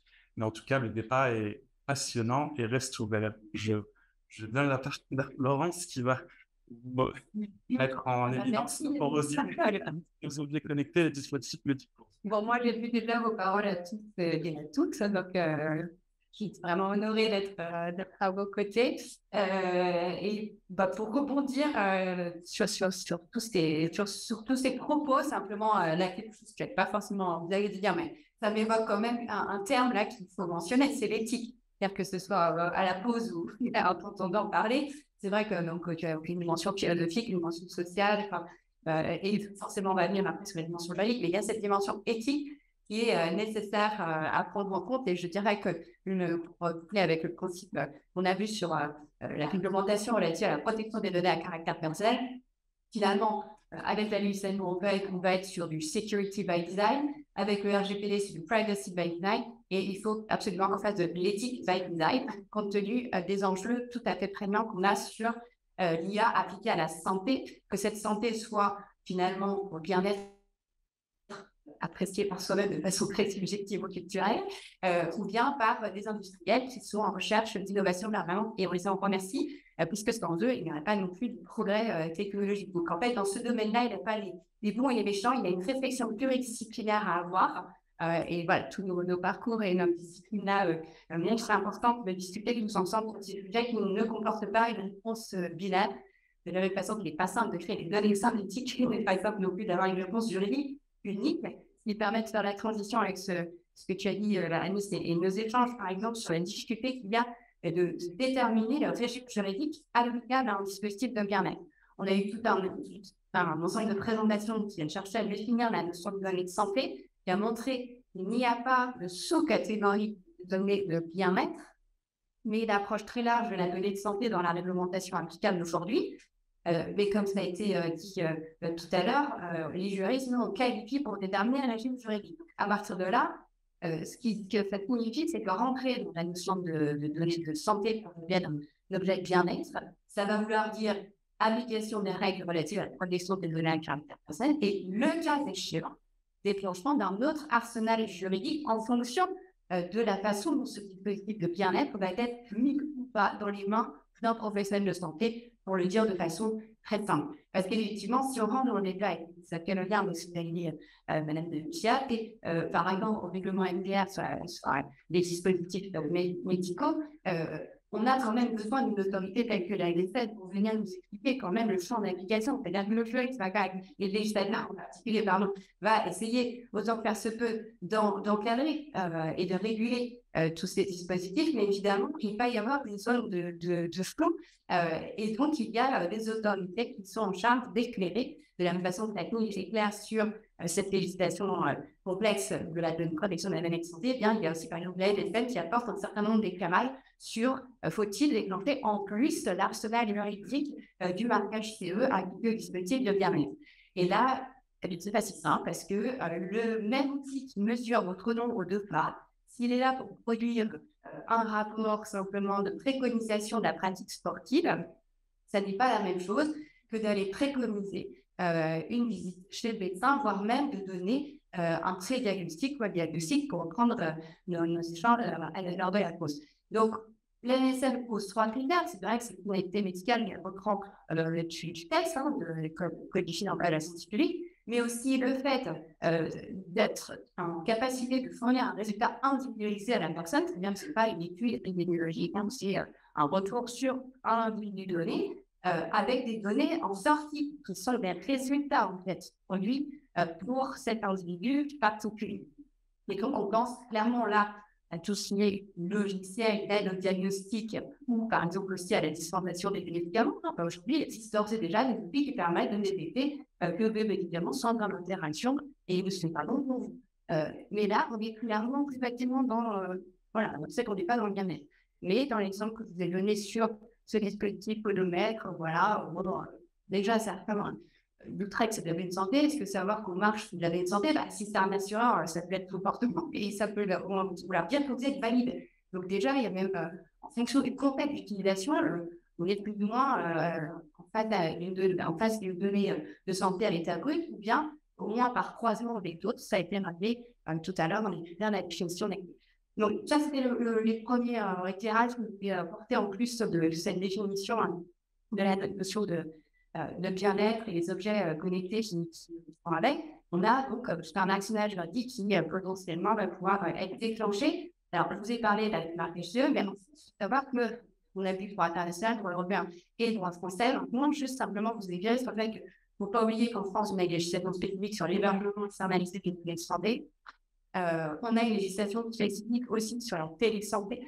Et là, elle s'est densifiée ces derniers temps avec une application particulière aussi pour ce qu'on appelle de, la télésurveillance, hein, chez le pour ça. et euh, ça me permettait d'insister sur un point, c'est que au-delà de vous faire une liste à la de toutes ces législations qui sont le travail euh, d'un accompagnement pour bien décortiquer les règles applicables, ce à quoi il faut prêter attention aussi, c'est que euh, la mise en œuvre des textes va se faire au travers d'un outil qui va être le contrat. C'est-à-dire que l'outil contractuel va être le lieu, le support juridique de dans lequel, finalement, on va euh, pouvoir formaliser la répartition des rôles et responsabilités dans ceux qui vont être en charge, justement, de veiller au respect de la réglementation. Et pourquoi c'est important? C'est parce que, euh, on a touché du doigt à plusieurs reprises là, mais il y aura une question de responsabilité très importante qui vont se poser. Euh, quid du fait de ne pas suivre les recommandations d'un outil par exemple? Aujourd'hui, ça a été rappelé, on a un principe de garantie de l'intervention humaine. Euh, et on a, au travers notamment de la législation, au travers de des exigences liées à la performance. Et on a nos exigences aussi sur la confidentialité des données. Donc aujourd'hui, on sait à peu près, avec nos outils juridiques actuels, s'y retrouver. Mais demain, avec les données synthétiques, demain, euh, avec euh, du deep learning à tous les coins de rue, pardon, la question va se poser parce que la diffusion, la vulgarisation de ces outils-là, euh, finalement, est-ce que ça ne va pas attaquer nos principes que l'on trouve aujourd'hui bien ancrés dans le sol? La question peut se poser en tout cas. Et donc, ça augure de nouveau euh, une nouvelle démarche éthique qu'il ne faut absolument pas stopper, euh, d'où d'ailleurs l'intelligence d'avoir fixé des mises à jour régulières des règles éthiques et d'avoir aussi fixé pour la décennie numérique au niveau européen un certain nombre de valeurs auxquelles il va falloir s'attacher et il va falloir se remettre régulièrement à discuter autour d'une table comme aujourd'hui, je vous.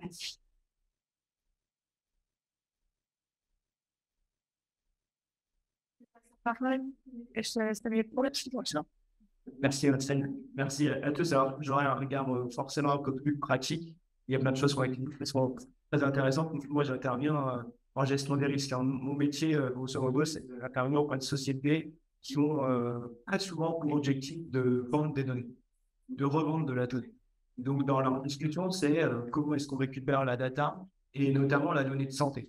Et pourquoi est-ce que j'interviens? C'est aussi pour dire les questions qui se posent au niveau économique, c'est euh, bah, je suis un hôpital qui euh, a de la donnée de santé, moi je suis euh, une société qui fait de la location fauteuil roulant. Ah, ça m'intéresse quand même de savoir qui potentiellement peut avoir besoin de mes, de mes, de mes fauteuils. Ah, c'est la première étape. C'est finalement quelque chose qui est assez simple, qu'on connaît au niveau légal, on arrive à, on arrive à, le cerner. la deuxième chose, c'est bah, je suis une société privée, donc je vais peut-être faire de la publicité je vais peut-être montrer que mes, fauteuils roulants, ils sont plutôt pas mal. À utiliser, ils sont plutôt sympas, et que ça va même générer bah, du bien-être futur pour le patient qui n'est pas encore opéré de sa hanche, mais qui va être opéré de sa hanche et qui va avoir besoin d'un fauteuil. Et là, on a une réutilisation déjà de données à des fins commerciales, donc il va falloir la qualifier, ce qu'on disait. on parle souvent de, l'article 9-2, hein, de la possibilité par le consentement éclairé d'obtenir des données de santé en cas de les réutiliser. ça, c'est des questions qu'on a actuellement. Ce sont des questions qui, génèrent énormément de, discussions dans les entreprises parce que, à côté de ça, on a un autre bloc, on en a un petit peu parlé, euh, on le dit entre nous, on a un vrai bloc américain, enfin, on a une législation américaine qui ne se pose pas tant de questions, en tout cas qui permet à des acteurs euh, déjà bien implantés eh bien, d'arriver sur des marchés. Euh, vous l'entendez peut-être un petit peu quand on vous parle d'AWS et de tout ce que fait AWS en matière de santé. Moi, je me rappelle quand j'ai commencé ma thèse en cybersécurité, on me disait AWS dans le cloud, dans deux ans, on n'en parle plus. Aujourd'hui, AWS, c'est 60% du cloud français. Donc, euh, ces enjeux de, territorialité, euh, ils sont, elles sont intéressantes et elles sont surtout euh, pertinentes dans tout ce qu'on est en train de se dire. C'est-à-dire énormément de, production normative, énormément de réflexion au niveau européen, en France, etc. J'ai été je, partage hein, sur le Cyber Resilience Act, hein, qui dit mal son nom, parce qu'en réalité, ça ne parle pas de la résilience, mais ça parle plutôt des objets connectés. Il y a un vrai sujet, un 24 heures, un délai de 24 heures pour les fabricants, pour aller euh, notifier les incidents de cybersécurité, c'est pas possible. Ce n'est pas possible. Enfin, on est quand même donc, on a des sujets avec une production normative très, très importante, et puis de l'autre côté, des acteurs qui de toute façon ne se posent pas la question et qui vont vous dire, mais nous, on va arriver sur le marché, et s'il faut payer la sanction, il faut la payer. Ce qu'il faut savoir, c'est que quand vous parlez du RGPD aux États-Unis, peut-être que certains d'entre vous vont parler, ils vous disent, c'est un risque. Moi, 4% de mon chiffre d'affaires, c'est un risque. Et c'est super bien illustré par la CNIL, c'est dommage que la CNIL est partie, parce que Doctissimo, 280 000 euros, ouais, 380 000, enfin, c'est 500 millions d'euros de chiffre d'affaires. Donc, finalement, on se dit, bon, c'est un risque que l'on prend. Tu le risque URSAF ou le risque en matière de prud'homme, il est plus important que le risque en matière de données. Pour autant, euh, ben, c'est important de le protéger et on est dans cette, dans cette difficulté finalement à avoir une théorie que l'on comprend très bien, avec des enjeux qu'on comprend très bien sur la vie privée, etc. Si vous regardez un peu sur les darknets, hein, ce qui vaut le plus d'argent, hein, c'est les cartes bleues, mais ça, c'est un peu passé. Mais maintenant, c'est la donnée de santé, hein, les numéros de sécurité sociale, etc. Ça, c'est vachement valorisé. Ça augmente euh, encore un peu plus en ce moment euh, parce que ça, alimente euh, des bacs, des bacs de, données qui vont être ensuite réutilisées à des fins criminelles ou pas. Et c'est pour ça que vous allez recevoir parfois des notifications. Et moi, j'ai une anecdote assez criante d'une société qui, qui a reçu, dont les employés ont reçu des mails euh, sur, euh, sur quelques jours avant leur visite médicale pour, vous savez, la médecine, la médecine du travail. Et c'était vraiment euh, à quelques jours à chaque fois pour leur vendre des produits de bien-être, etc. Donc, c'était vraiment du phishing qui avait été généré par la récupération de données de la donnée de santé. Donc, je partage en tout ce qu'on ce qu'on est en train de se dire. moi, je, voilà, mon axe, c'est de dire, bah, en prenant de la hauteur, on a quand même aussi à affronter quelque part euh, une concurrence, je ne sais pas si c'est une concurrence, ou qu'il y a une complémentarité euh, avec un bloc qui ne se pose pas trop la question euh, bah, de savoir si c'est bien ou pas qu'ils le font. Alors, on dit souvent enfin, l'expression hein, aux États-Unis ou en Amérique, hein, on crée la technologie, en Europe, on crée la loi. Je ne sais pas si ça s'applique vraiment là. Voilà. mais, mais, en tout cas, c'est l'idée que, que, je voulais vous faire partager. Peut-être qu'on peut, on peut en discuter. C'est que au-delà de toutes ces réglementations, il y a aussi cette exposition au risque et, qui peut apporter des solutions aussi parce qu'un risque euh, bah, ça est assez subjectif et finalement on retombe dans les histoires d'éthique, hein, on retombe dans ce qui est acceptable ou pas euh, pour notre société.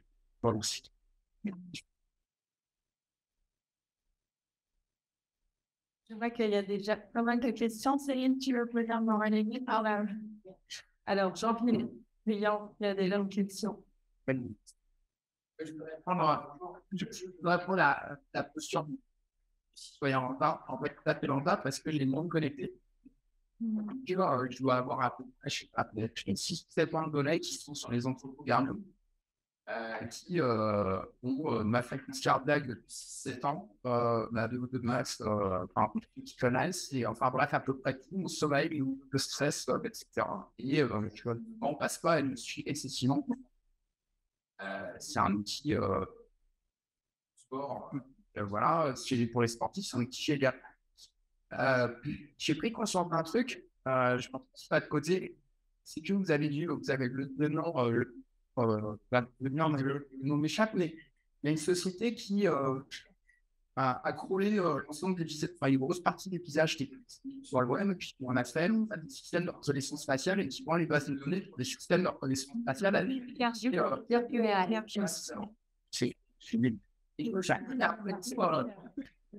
et ce qui fait que euh, c'est l'outil, euh, enfin, c'est santé euh, pas être finalement euh, un outil euh, de reconnaissance comme un autre. Enfin, pourrait rentrer en fait dans un outil de reconnaissance comme un autre, ce qui pourrait par exemple me barrer l'entrée dans un pays ou au contraire me faire avoir un scoring qui est mauvais, un assureur ou whatever.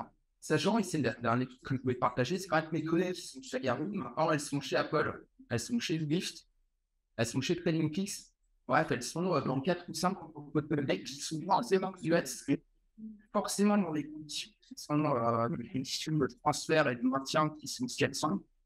Et j'en ai complètement perdu À la limite, la relation de confiance que j'avais avec Garmin, pourquoi pas. Mais maintenant, elle s'est complètement euh, de relation de confiance. Ça m'intéresse d'avoir un rapide pour euh, le ralentir finalement. Euh, Qu'est-ce qu'aujourd'hui, on dire en tant que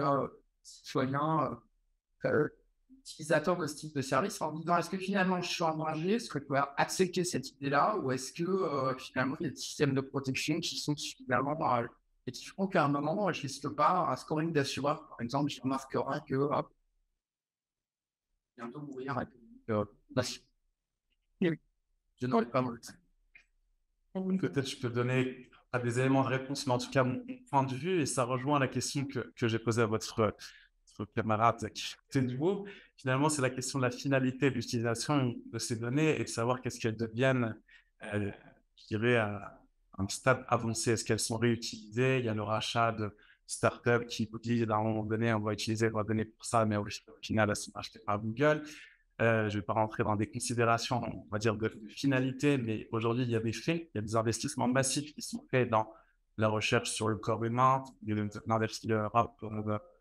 l'inversion du processus de vieillissement. C'est pas de la science-fiction, c'est de l'investissement. tout cela. Et finalement, euh, je pense qu'un des éléments de réponse, il peut aller le trouver, je dirais, en économie ou en sociologie, et avec la notion de consommateur.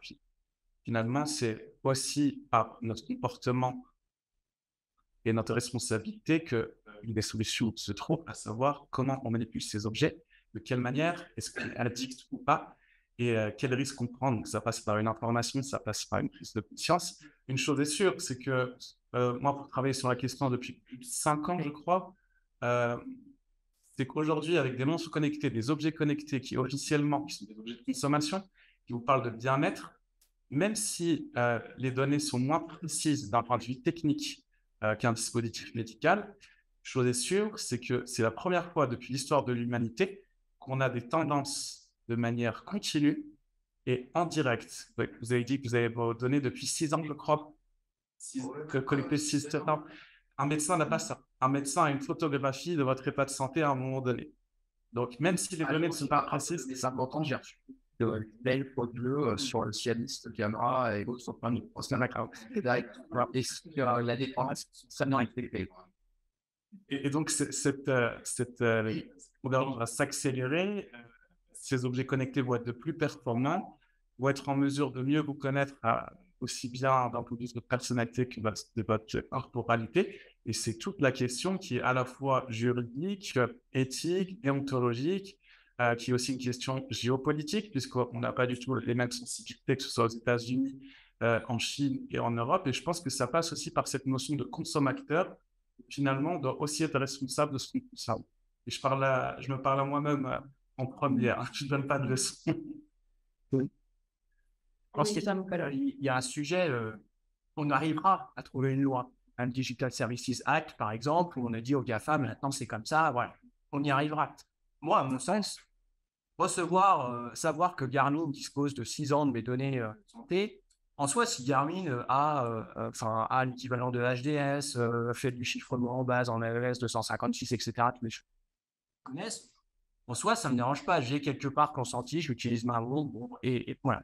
Moi, ce qui m'a- ce qui m'inquiète un petit peu plus, c'est cette récupération par des gens euh, dont je ne connais pas le nom, euh, donc des partenaires, etc. Ça, c'est le volet très légal. hein. J'ai voilà, des transferts de données pour de la réutilisation. Donc, c'est euh, voilà, mon assureur, etc. Mais voir à des soucis de manière complètement illégale, c'est-à-dire la récupération par bah, de la cybercriminalité. Et là, on est dans un sujet où bah, on ne contrôle plus du tout.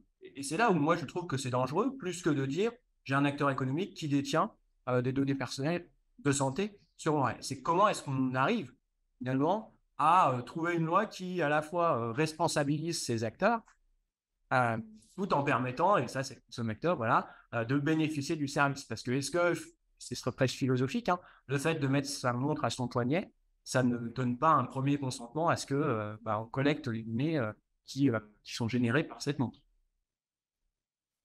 Du point de vue droit européen, par, par l'exemple que vous donniez sur la montre, bracelet, etc., je vous l'ai dit, le règlement délégué, il vient d'être adopté par la Commission il y a quelques mois. Qu'est-ce que ça révèle? Ça révèle un retard à l'allumage phénoménal. Phénoménal. Mais en bref, c'est ce que j'ai compris en discutant avec les, amis qui bossaient à la Commission. Voilà, on est, on est, on est super en retard.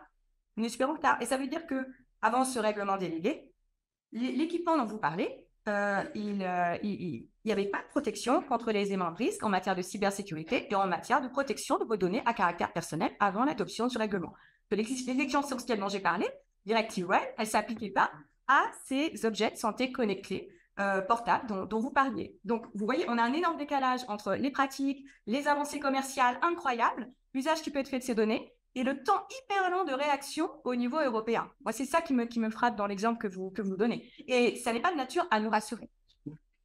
Je vais quand même essayer. Vas-y. Moi, de côté, euh, tant pis, d'accord. Non, mais non, mais parce que bah, moi, je suis plutôt fière, en fait, euh, de ce qui se passe au niveau européen. Alors, euh, euh, oui, il y a DSA, il y a aussi le DMA pour les, les grosses plateformes. Et alors, plein de trucs en A, donc DGA, Data Act, donc IA Act. Et donc, oui, probablement qu'on n'est pas au point en termes de calendrier, etc. Mais quand même, je trouve que la façon de légiférer pour avoir travaillé 10 ans, quand même, les bonnes ministères pour pardon, j'allais dire, prendre un bout de fashion summary.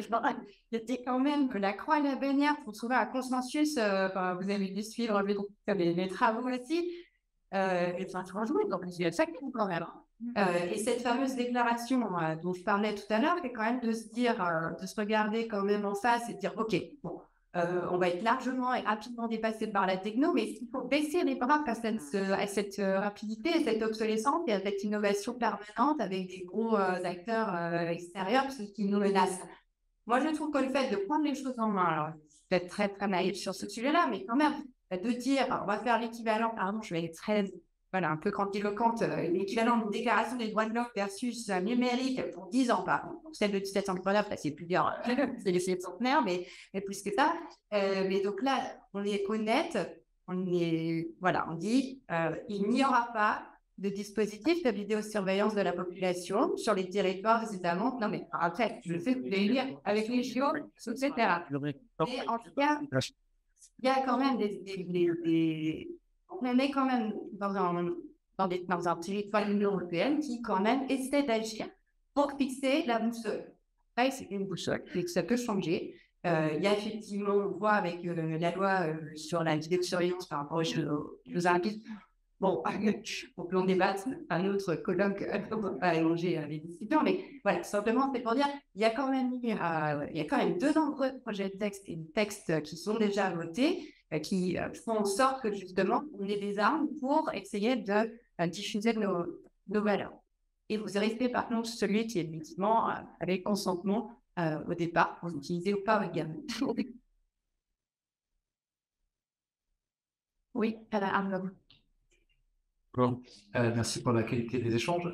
moi, j'ai une question au sujet des sanctions. vous avez mentionné par exemple, partager que le risque juridique est un, un risque comme un autre, l'assurance, les risques naturels, les impayés. De ce point de vue-là, euh, tous les textes européens que vous avez cités en A, euh, je vois tous le système de sanctions, toujours en pourcentage de chiffre d'affaires monde, etc. Toujours pareil. Euh, alors, c'est vrai, comparé aux anciennes sanctions, souvent ridicule, c'est déjà beaucoup plus. Et alors, du coup, euh, c'est une interrogation, je n'ai pas la réponse. Quelles seraient les bonnes sanctions ou d'autres sanctions, hein, même échelées, dans le projet Sierra, quand même, on peut aller jusqu'à la possibilité d'interdire la commercialisation euh, d'un produit sur le marché européen. Ça, ça me paraît quand même le truc à faire. de mon point de vue. C'est prévu, c'est ce qu'on a mis sur euh, les hébergeurs de données de santé. Vous, vous avez de la donnée de santé, vous pouvez, euh, vous avez, vous, voulez héberger de la donnée de santé, vous devez faire appel à un prestataire agréé, euh, données de santé, etc. Voilà, on pourrait imaginer ça. Je pense qu'il faut se poser la question, l'Europe peut-être capable de produire des entreprises, des databases qui soient performantes, ce n'est pas encore le cas, d'avoir une cybersécurité performante, etc. Et puis le jour où c'est performant, bah, de dire, Désormais, les copains, on joue entre nous et on favorise notre marché. Peut-être au détriment de notre marché, hein, et c'est ça la loi des équilibres internationaux, ça me dépasse, c'est pas mon sujet. Mais en tout cas, c'est ce qu'on voit un petit peu en matière de cybersécurité que je connais beaucoup mieux, c'est ce qu'on voit se dessiner, c'est-à-dire plaque européenne en disant maintenant on est capable de montrer les dents. Euh, on a des citoyens aussi qui sont consommateurs, qui utilisent des services. Eh bien, préférons notre service parce qu'on contrôle, on a une législation qui tient. là où je rejoins, c'est que je ne suis pas du tout euh, certain que la sanction économique soit la bonne sanction. C'est peut-être ce qui est le plus facile parce que c'est ce qui est le plus démonstratif. C'est fait parler quand Meta se fait sanctionner, on est content de le mettre sur, sur les réseaux. Après, quand on réfléchit entre nous, on se dit bah, finalement, ça n'a pas changé grand-chose et Mark Zuckerberg dort toujours très bien. Oui, il y a la publicité aussi de, la décision. C'est vrai que euh, chaque fois, c'est impliqué dans les libérations, par exemple, de la CNIL, euh, on va pendant deux ans dans l'Allemagne. Ce qui est intéressant, c'est parallèlement à un mouvement où on anonymise euh, les décisions de justice. Donc, effectivement, ça fait sortir du lot et euh, c'est comme les décisions administratives, on s'en rend Et peut-être qu'au-delà de, des autorités administratives qui ont ce pouvoir de coercitif, peut-être qu'on pourrait aussi imaginer au niveau de la doctrine euh, la création d'un recours collectif, puisqu'il y aurait potentiellement des atteintes au niveau collectif, une structure qui, qui collecte des données de beaucoup de gens. Peut-être qu'on pourrait aussi imaginer ce dispositif de recours collectif en action en responsabilité, dans le soit civil ou autre de réflexion. Euh, oui, du coup, je voulais rebondir aussi sur quelque chose qui avait été déjà euh, évoqué, mais il ne vraiment pas euh, sous-estimer les conséquences réputationnelles des décisions. Même si les, chiffres qui, et, et, les amendes peuvent être peut être caractérisoire comparé au chiffre d'affaires de ces entreprises. Mais notamment, c'était quelque chose qui avait été évoqué pendant la, les 45 ans de Il y avait une conférence des 45 ans de qui avait été faite. Et il avait évoqué une décision qui avait été mise en place contre euh, Apple. Je crois de 6 millions d'euros. Donc, c'est pas, c'est pas énorme pour, euh, les vues de l'échelle d'Apple. Mais ce qu'il y a eu un constat, c'est qu'en fait, dans la communication de Apple, Apple, après cette décision, a commencé à de plus en plus marqué en pendant de communication, le fait qu'il protéger les données.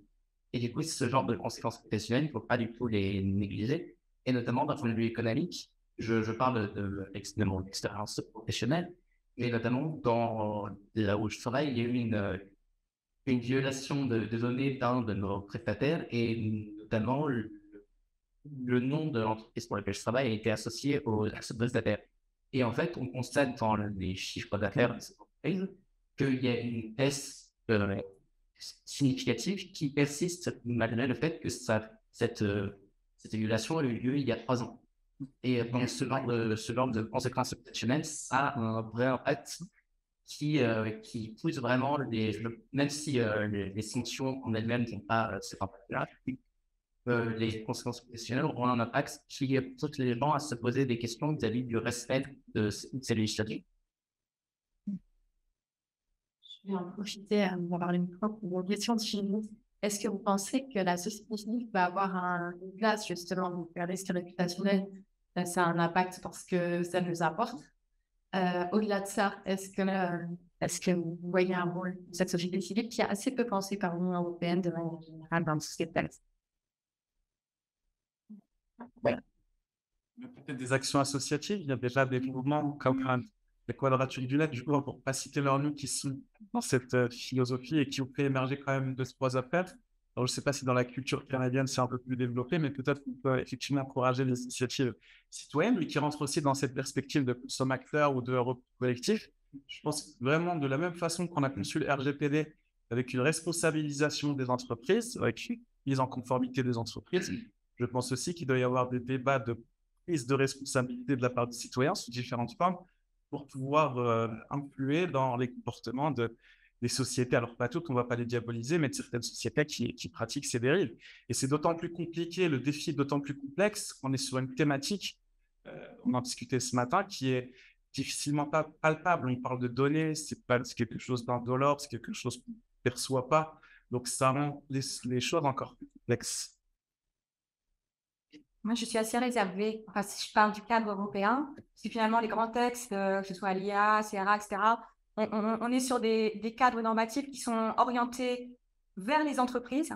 Et donc, on ne prend pas assez en compte les intérêts des personnes, des individus, des groupes de personnes vulnérables. C'est une énorme problématique euh, avec, laquelle finalement on n'a pas prêté assez d'attention. Et c'est la respect de la commission qui quand même présente les textes, les textes au départ, la première mouture, et on voit que là-dessus, euh, c'est quand même pas parfait. Et évidemment, si on regarde de façon plus générale les dispositifs institutionnels que l'on a au niveau de l'Union, on est quand même extrêmement déçus de la manière dont ça se passe pour, évidemment, les ICE, Initiatives citoyennes européennes, les problèmes d'enregistrement au niveau de la Commission, tout ce contentieux qui s'est développé. C'est bien révélateur qu'il y a un problème de connexion entre les institutions de l'Union et les organisations de la société civile. Évidemment, il y a un problème, il ne faut pas le cacher. Donc, je suis assez réservée sur ce point-là. J'aimerais beaucoup que ça évolue, mais il y a beaucoup de travail à faire. Je suis assez d'accord, je partage surtout que heureusement que Max Schmeps existe et en fait, on se met toujours avec un peu des études applicables, etc. Donc finalement, euh, il y a les textes, il y a tout ça, on est content. Et puis bah, dans la pratique, ce sont des activistes, euh, pour le coup, euh, très engagés et qui, que ce soit Jérémy Zimmerman de la quadrature du net, etc., qui sont vraiment très engagés. Limite, peut-être un peu parfois border dans la façon d'aborder les choses, bah, qui permettent de dire, que ce soit SCGE à l'autre, bah oui, le texte, il n'est pas conforme. Donc, euh, ce que je disais tout à l'heure entre vous, euh, quand moi je travaille avec des sociétés, la plupart elles me disent mais je ne comprends pas le problème avec les données de santé, en fait. nous, on travaille ça tous les jours, donc euh, c'est vrai que pour nous, ça, ça nous parle tout de suite. On sait qu'il faut pas, il faut, etc. un bon nombre d'acteurs, et je pense que ce n'est pas aux mathématiciens que je vais apprendre ça, une donnée, c'est une donnée, une data, c'est une data, 1 c'est un 1, 0 c'est un 0, et donc c'est nous qui colorons avec notre aspect juridique, avec notre, teinture de juriste, une donnée qui la coloreront une information dans une certaine couleur. Mais pour des acteurs économiques, pour la société civile, ben, finalement, euh, c'est pas grave. Et regardez les comportements sur les réseaux sociaux. Je pense que tout le monde a pu regarder que son voisin, on peut le questionner sur Facebook, et puis il partage des photos euh, de sa famille, il partage euh, sa date de naissance, etc., parlant de données, et puis il s'est fait hospitaliser, il partage la photo dans l'hôpital. Vous allez beau lui dire, c'est n'importe quoi ce que tu fais, que lui, il le fera. Donc, c'est aussi comment est-ce que l'on regarde euh, cette, euh, donnée, comment est-ce que...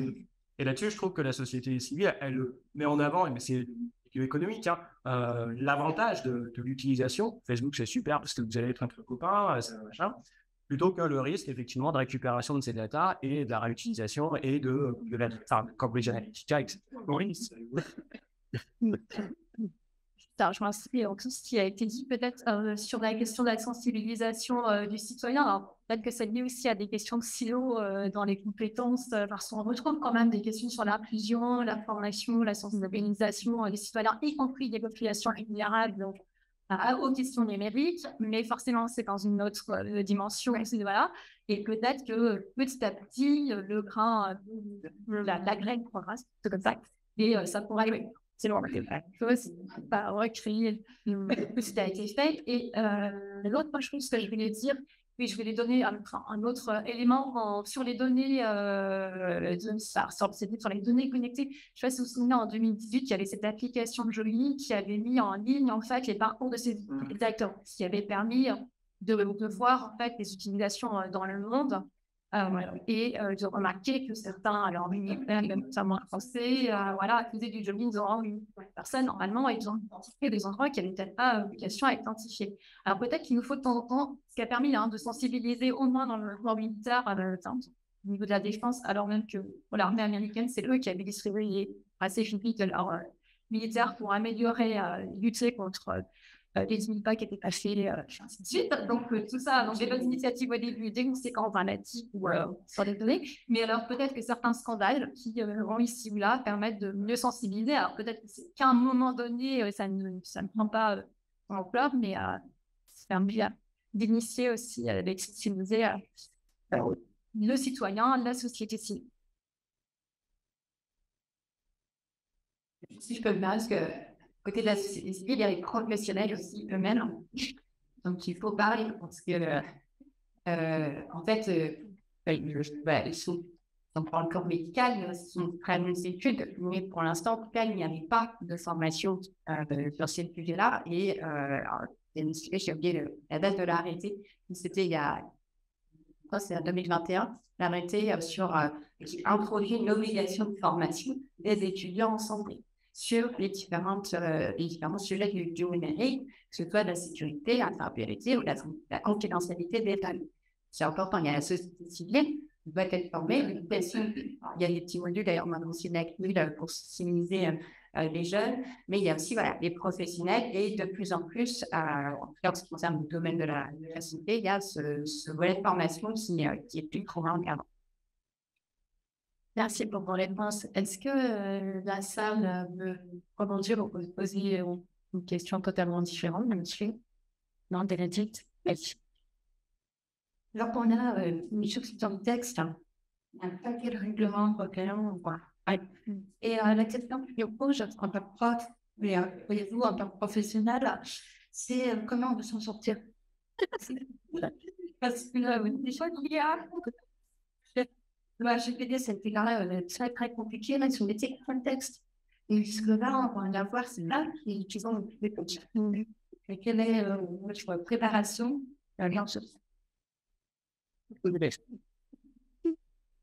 C'est sur vous pour alimenter la multiplication.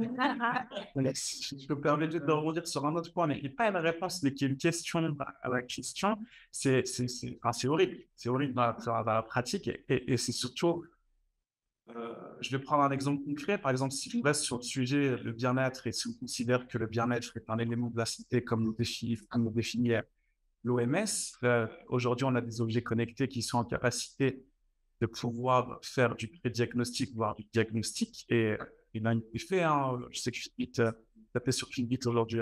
Et pourtant, j'ai une euh, qui ont fait un partenariat pendant le Covid avec euh, des salariés de Benazai qui ont été en capacité de pré-diagnostiquer, voire de diagnostiquer euh, le Covid. Alors, c'est très bien, hein, je ne suis pas un anti-objet connecté, mais quand je pense au régime juridique des professionnels de santé et à l'exercice de la profession médicale, ça m'interroge. Je suis un peu dégoûté de le dire. Il y a des interférences, il y a des croisements, il y a des superpositions de régimes juridiques. On ne comprend plus rien, en fait. Oui, c'est vrai, quand on regarde simplement le projet de CRA, c'est impressionnant. Toutes les passerelles qui sont établies avec d'autres projets législatifs d'une énorme Alors, CRA et RGPD, alors oui, on dit euh, dans ce projet CRA, c'est pas un problème, on va faire le pari de la création d'une synergie forte entre les autorités de surveillance que l'on va créer et puis les autorités euh, compétentes en matière RGPD. Euh, on parle de coopération, de synergie dans le texte, c'est très bien on parle de standardisation, mais en fait, concrètement, comment ça va se produire?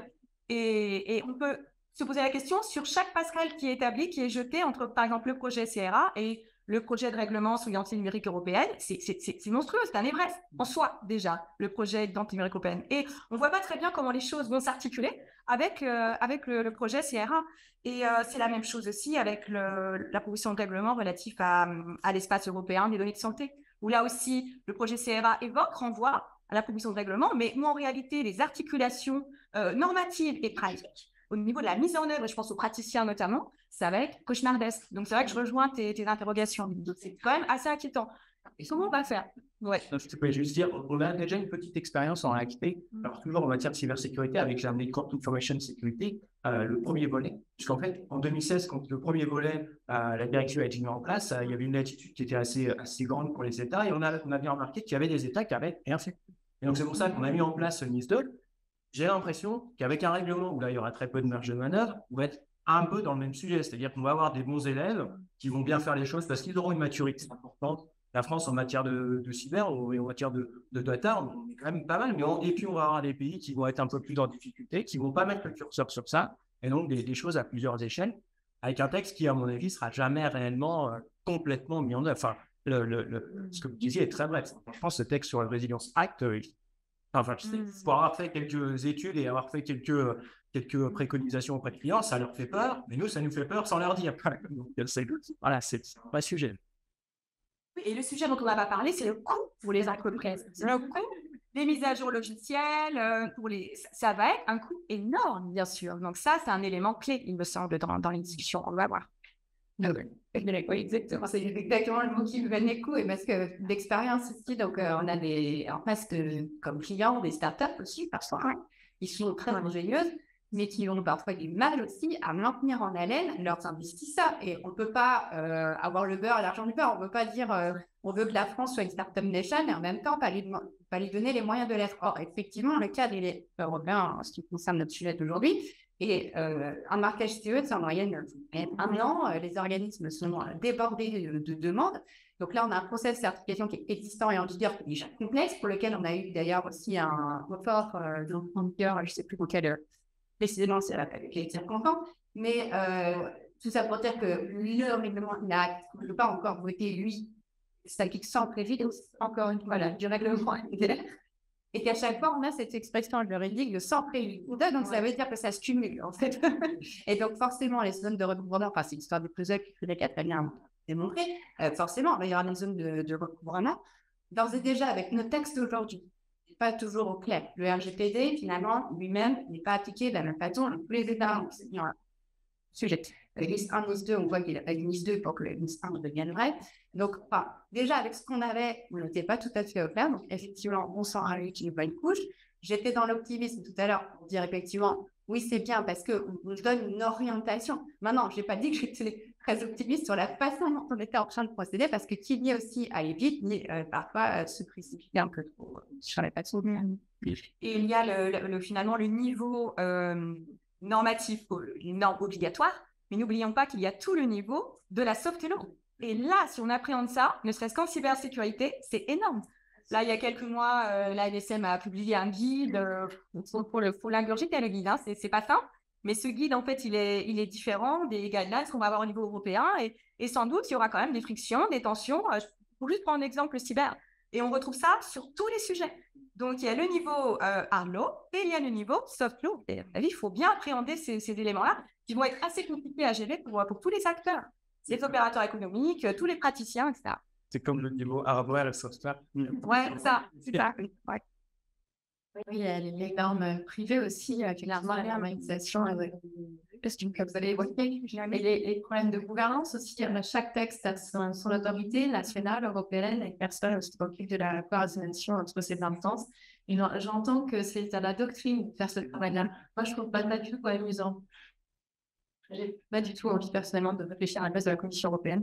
Donc, euh, c'est peut-être un peu facile de dire euh, faisons des textes euh, un peu, un peu euh, chauds parfois, hein, qui ont parfois un objectif un peu médiatique ou un peu spectaculaire, mais est-on en mesure, en capacité de les appliquer, les faire respecter? On ne parle pas du tout en plus de contrôle là jusqu'à présent, on n'en est même pas là.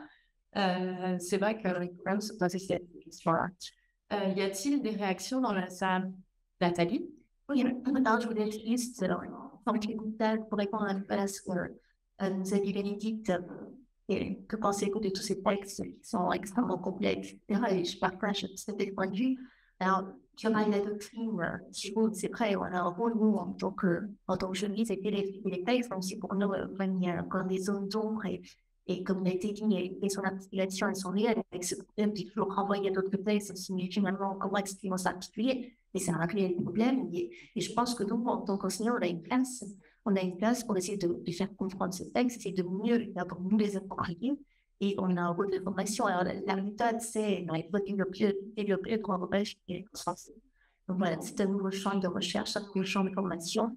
Et euh, il faut se mettre en culture pour se faire connaître cette, euh, ce qui pourrait être une des disciplines. En tout cas, c'est un petit peu ce, que, ce qui à vient d'entendre. Et personnellement, c'était un peu ce que j'ai envie de faire peu de c'est un des que et de continuer dans ce et à ça, ça aussi, on, est conscient c'est les activités mais ça me challenge, ça me challenge en étant que ce soit un petit peu plus d'ici quelques temps, parce que c'est, on en a encore discussion, on n'est pas encore au stade final. Donc, on peut espérer qu'il y aura des, des améliorations, qu'il y aura des explications, des interrogations, il faudra sans doute passer effectivement par la flow pour de comprendre, et petit à petit, ça va se mettre en place. Donc, je suis réellement optimiste, et je me dis que, en tant qu'enseignant, on a encore euh, beaucoup de choses à apprendre, nous-mêmes, à comprendre, à transmettre, et puis, bon, des avocats aussi sont à vos côtés pour, euh, pour nous aider, pour nous faire, pour nous en activant. Ouais. Il y a des doctorants dans les salles, ça fait des beaux sujets de thèse. Emmanuel. Alors, je vais poursuivre un états de amis et collègues, bien évidemment, parce que Nathalie, tu viens de parler de l'Europe, de la modification des textes, et on va quand même dire que tout ça existe au niveau Nous parlons d'une information qui est dématérialisée, qui circule, qui est euh, tout autant protégée que partagée. Euh, la donnée de santé, c'est une donnée convoitée. Euh, avec un, poids économique, ça, et ayons quand même une pensée pour ceux qui la manipulent, qui la génèrent, qui essayent justement aussi de la valoriser dans d'autres champs que les champs économiques, la recherche par exemple, et pour lesquels, euh, en fait, si même nous, on est un peu passé, on va pas se mentir, même de temps en temps, ou en tout cas un peu, et tu sais comment c'est mon cas, j'ai tout ça dessus. On sait plus trop finalement quelle est la bonne référence, quelle est la bonne, bon commentaire à faire faut bien penser qu'à côté de nous, on a euh, des chercheurs qui mènent cette information euh, tous les jours, pas toujours dans, enfin, jamais, je pense, non plus de manière euh, dans le contexte du bien commun. Et, et, donc, il y a vraiment un accompagnement à réaliser aussi, probablement, avec la, proposition de nouveaux outils.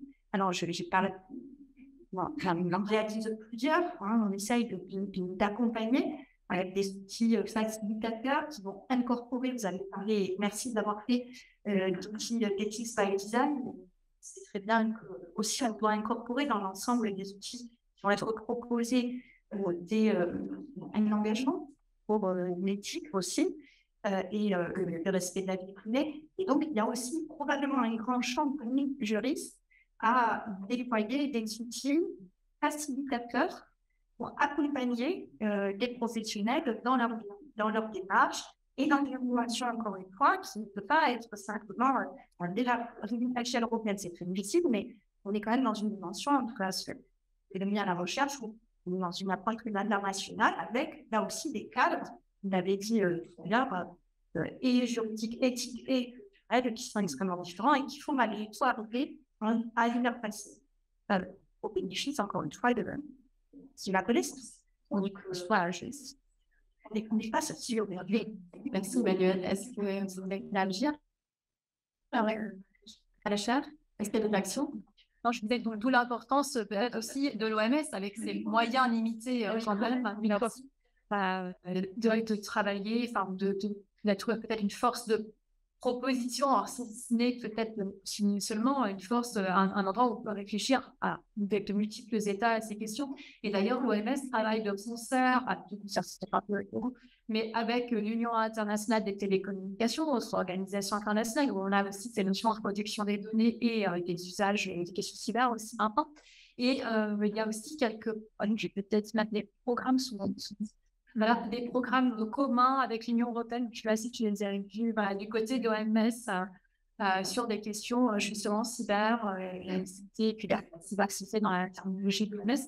Euh, voilà, donc c'était pas, c'est pas pour défendre l'OMS, mais c'est pour dire que peut-être que là, on a une enceinte qui peut être, peut-être servir à la.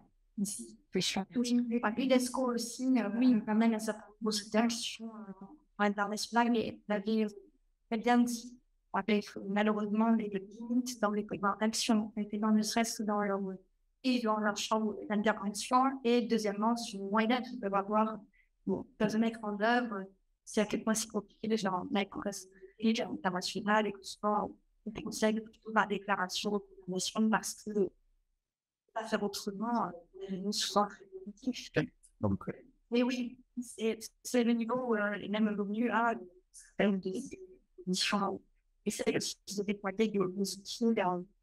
Mais puis, donc, il y a un autre sujet sur l'interaction aussi normative au niveau international, au-delà des, niveaux internationaux européens et nationaux. Euh, donc, ce sujet. Bénédicte, au niveau international, euh, il y a aussi euh, le CDE euh, qui intervient, il y a l'UNICH, euh, voilà, donc il y a aussi euh, le, le G5 workshop niveau changement, Il y a, d'autres structures qui pourront et, on est resté sur le niveau européen, parce qu'on a aussi toutes ces initiatives dans le cadre de l'Union africaine, on a cette convention de l'Union ça s'est diversifié, ça a avancé plus, l'humanité jusque-là. Puis il y a aussi un, un regard qui peut être régional hors Europe, avec un focus bon, mm-hmm. cohérence dans ce sens. Est-ce que vous pourriez, euh, possible. parler Juste moi, de. Euh, parlez de de recherche, là, euh, Madame. Euh, comment vous réagissez par rapport au fait que, moi je trouve que c'est clair, toujours pareil, je trouve que c'est pas positif que euh, il, euh, ça, Marseille euh, soit, soit sur euh, son élection, ça dans des États-Unis avec 30 000 personnes, euh, finalement, la collecte de données pour une n'en est pas une, c'est pas ils ne respectent pas les. Est-ce que ça, vous considérez qu'effectivement, c'est une bonne chose ou pas et que la législation est bien faite pour ça? Et euh, de la même manière, euh, dans la famille généticienne, et euh, de la vente, donc c'est très très encadré. C'est-à-dire qu'elle fait de la recherche, elle a besoin de publier. Et pour pouvoir publier un article, il faut qu'elle ait la donnée la du comité la totalité des patients, parfois sur des panels, pas des, des, données qui ont été récupérées il y a 20 ans. Et c'est excessivement compliqué et, et, ça leur permet pas forcément en fait, de faire leur travail dans de bonnes conditions. Et là, on n'est pas dans quelque chose qui a une vocation mercantile, mais euh, pour le coup, euh, simplement pour faire avancer la connaissance. C'est quoi vos positions par rapport à ça Vous pas Ok, excuse-moi. Voilà, dans une phrase, ma position est assez conservatrice. Et désolé, c'est certaines sensibilités, mais quand, pour moi, quand on manipule des données aussi sensibles, c'est comme si on manipulait le corps humain. Et avec toutes les conséquences que ça pourrait avoir derrière. Voilà. Je ne sais pas si je suis clair, mais en tout cas, c'est vraiment une position conservatrice.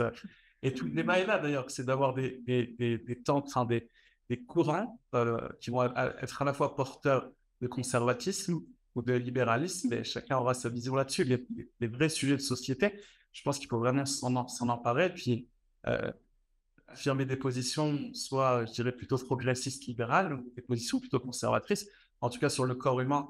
Et ça, c'est une histoire de juriste qui, qui résonne ainsi. Euh, moi, je me sens hyper conservateur et effectivement, il faut une réglementation très très forte quand on connaît les conséquences que ça peut avoir sur les modifications génétiques, voire même euh, la manipulation du génome humain.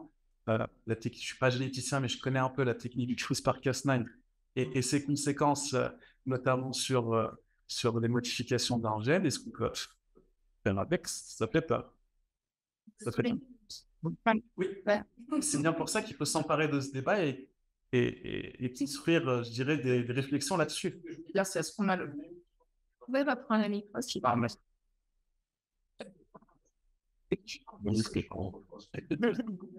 Est-ce qu'on a le même niveau de législation euh, pour euh, tous les, ce dont on parlait, par exemple, pour des applications, des choses qui sont, on va dire, euh, commerciales, standards, par rapport à ce qui se fait pour la recherche? J'ai l'impression, si vous voulez, que quelque part, on est ultra conservateur dès que ça touche effectivement la génétique, parce que euh, il y a peut-être à la fois aussi bien une méconnaissance que, euh, l'idée qu'il pourrait y avoir euh, des manipulations ou des fichages tout à fait particuliers par rapport à ce qu'on a vu par exemple des données qui sont apparentes au bien-être, mais qui finalement sont des données qui pourrait avoir des effets aussi, aussi. Oui, bah, le, la société. Deux poids, deux mesures. Oui, je suis totalement d'accord avec vous pour, pour le coup. C'est pour ça que je parlais tout à l'heure de l'exercice de leur profession de, médecine. Et on peut prendre l'exemple de Chui Amli, qui, qui, collecte des données génétiques, euh, hein, des données d'ordre héréditaire, on va dire. Et effectivement, j'ai pas l'impression qu'ils sont traités de la même façon qu'un généticien qui fait progresser la recherche. C'est tout le débat, justement. C'est d'arriver à uniformiser des situations qui pourraient euh, être semblables avec un niveau, de avec un niveau juridique assez protecteur sur des questions aussi sensibles. Effectivement, là, je suis totalement d'accord avec vous. On a une réaction qui arrive, hein, et, et une réaction aussi. Ce sera, ce sera la fin, parce que là, vous avez commencé à faire obstacle pour le cocktail. Hein. Je trouvais une discussion très intéressante. J'ai une question qui m'ont amené à les échanges qu'on a eus à la question de, en fait, sur la question de l'utilisation de c'est par le collège, le consentement, tout ça, mais c'est au final, qu'est-ce qu'on en fait de ces données? et il y a un, article en droit canadien, je ne sais pas si vous avez la même chose en Europe, donc c'est ma, ma question, le paragraphe 5.3 de la loi sur le privé. C'est-à-dire même que le consentement soit allé, qu'on puisse en parler, il faut que tout connaisse l'utilisation de communication en enseignement personnel qui vise une fin, une fin qu'une personne simplement considérée comme acceptable dans les, dans les circonstances. Donc, même si on consent à l'utilisation d'une données, si on considérait, quelqu'un considérait un considérait que c'est pas une fin qui est acceptable socialement parlant, ça fait un peu bien avec les gens on reste sur le taux mais on ne peut pas consentir à n'importe quoi. Euh, au Canada, l'affaire de Clearview AI, donc vous avez, vous avez voté, a été réglée en partie sur ce paragraphe. Euh, l'affaire Cambridge Analytica, l'IQ de Facebook, c'est en partie ça. La question de du Canada, non seulement le consentement interpellé, mais au-delà de ça, on ne peut pas considérer comme étant acceptable dans nos sociétés de faire du propagage socio-démocratique à fins politiques euh, ou qu'on manque des formes de données. Et donc, à partir de ce moment-là, euh, ce que moi je considère qu'au Canada, c'est une disposition qui est sous-utilisée. C'est-à-dire que je peux comprendre les réticences sur la qui est en vacciné, mais qu'est-ce qu'une personne acceptable considérait dans les circonstances? C'était de considérer plus que la société civile, le code salaire commence à être ferme, en termes de consultation euh, mais donc, même la question des assurances, la question de la génétique, c'est l'utilisation qu'une personne serait acceptable avec circonstances sur des oui. Si c'est pour faire une modification génétique qui serait problématique pour l'avenir de l'espèce, non. Donc, ce que ça, c'est qu'on va est-ce que vous avez la même chose? On va le retenir, parce que nous, c'est assez la question de la fin, pas juste la finalité légitime, mais qu'une personne raisonnable considérait acceptable dans les alors, en droit intérieur, on a la finalité mais l'acceptable, on l'aurait pas. On a cette notion d'acceptable qui ressemble dans l'intérêt légitime du responsable de traitement. On va aller chercher, mais on n'a pas ce critère d'acceptable, cette analyse du juge, en fait, même si peut-être que la jurisprudence va nous dire que euh, telle finalité avec un consentement, bah, finalement, c'est pas, pas logique. Ce serait dans cette euh, conception-là, ce serait dans l'articulation entre la finalité et la base légale. Et comment est-ce qu'on on va gérer les deux et comment est-ce que le juge va dire, bah oui, a cette finalité-là, telle base légale pourrait correspondre? Parce que si on n'a pas la base légale, de toute façon, la finalité, euh, peu importe la finalité. Je souscris complètement. Et un petit ajout, c'est simplement dans les tests de compatibilité dans le cas de la réutilisation. Et du coup, c'est typiquement un genre de situation où l'industriel réutilise, euh, son serve un assureur, et donc doit faire un test de compatibilité dans les critères sociaux et dans les présomptions euh, juridiques posées par le RGPD, il y a les attentes raisonnables euh, des personnes concernées. Donc euh, voilà, mais ceci dit, je trouve très intéressant cette idée que ça se positionne plutôt en amont et de façon systématique, parce que là aujourd'hui, avec le consentement, on pourrait totalement mettre en place quand même des dispositifs de discrimination assurantielle avec le consentement plus un On peut déjà un petit peu.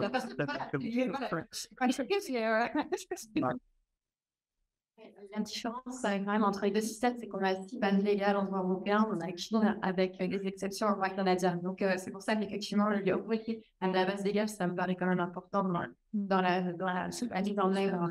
Oui. Euh, bah, très bien, mais je crois que c'est une belle conclusion. Euh, on vous offre là une, une comparaison Canada-Europe, c'est parfait. Merci beaucoup. Uh, I,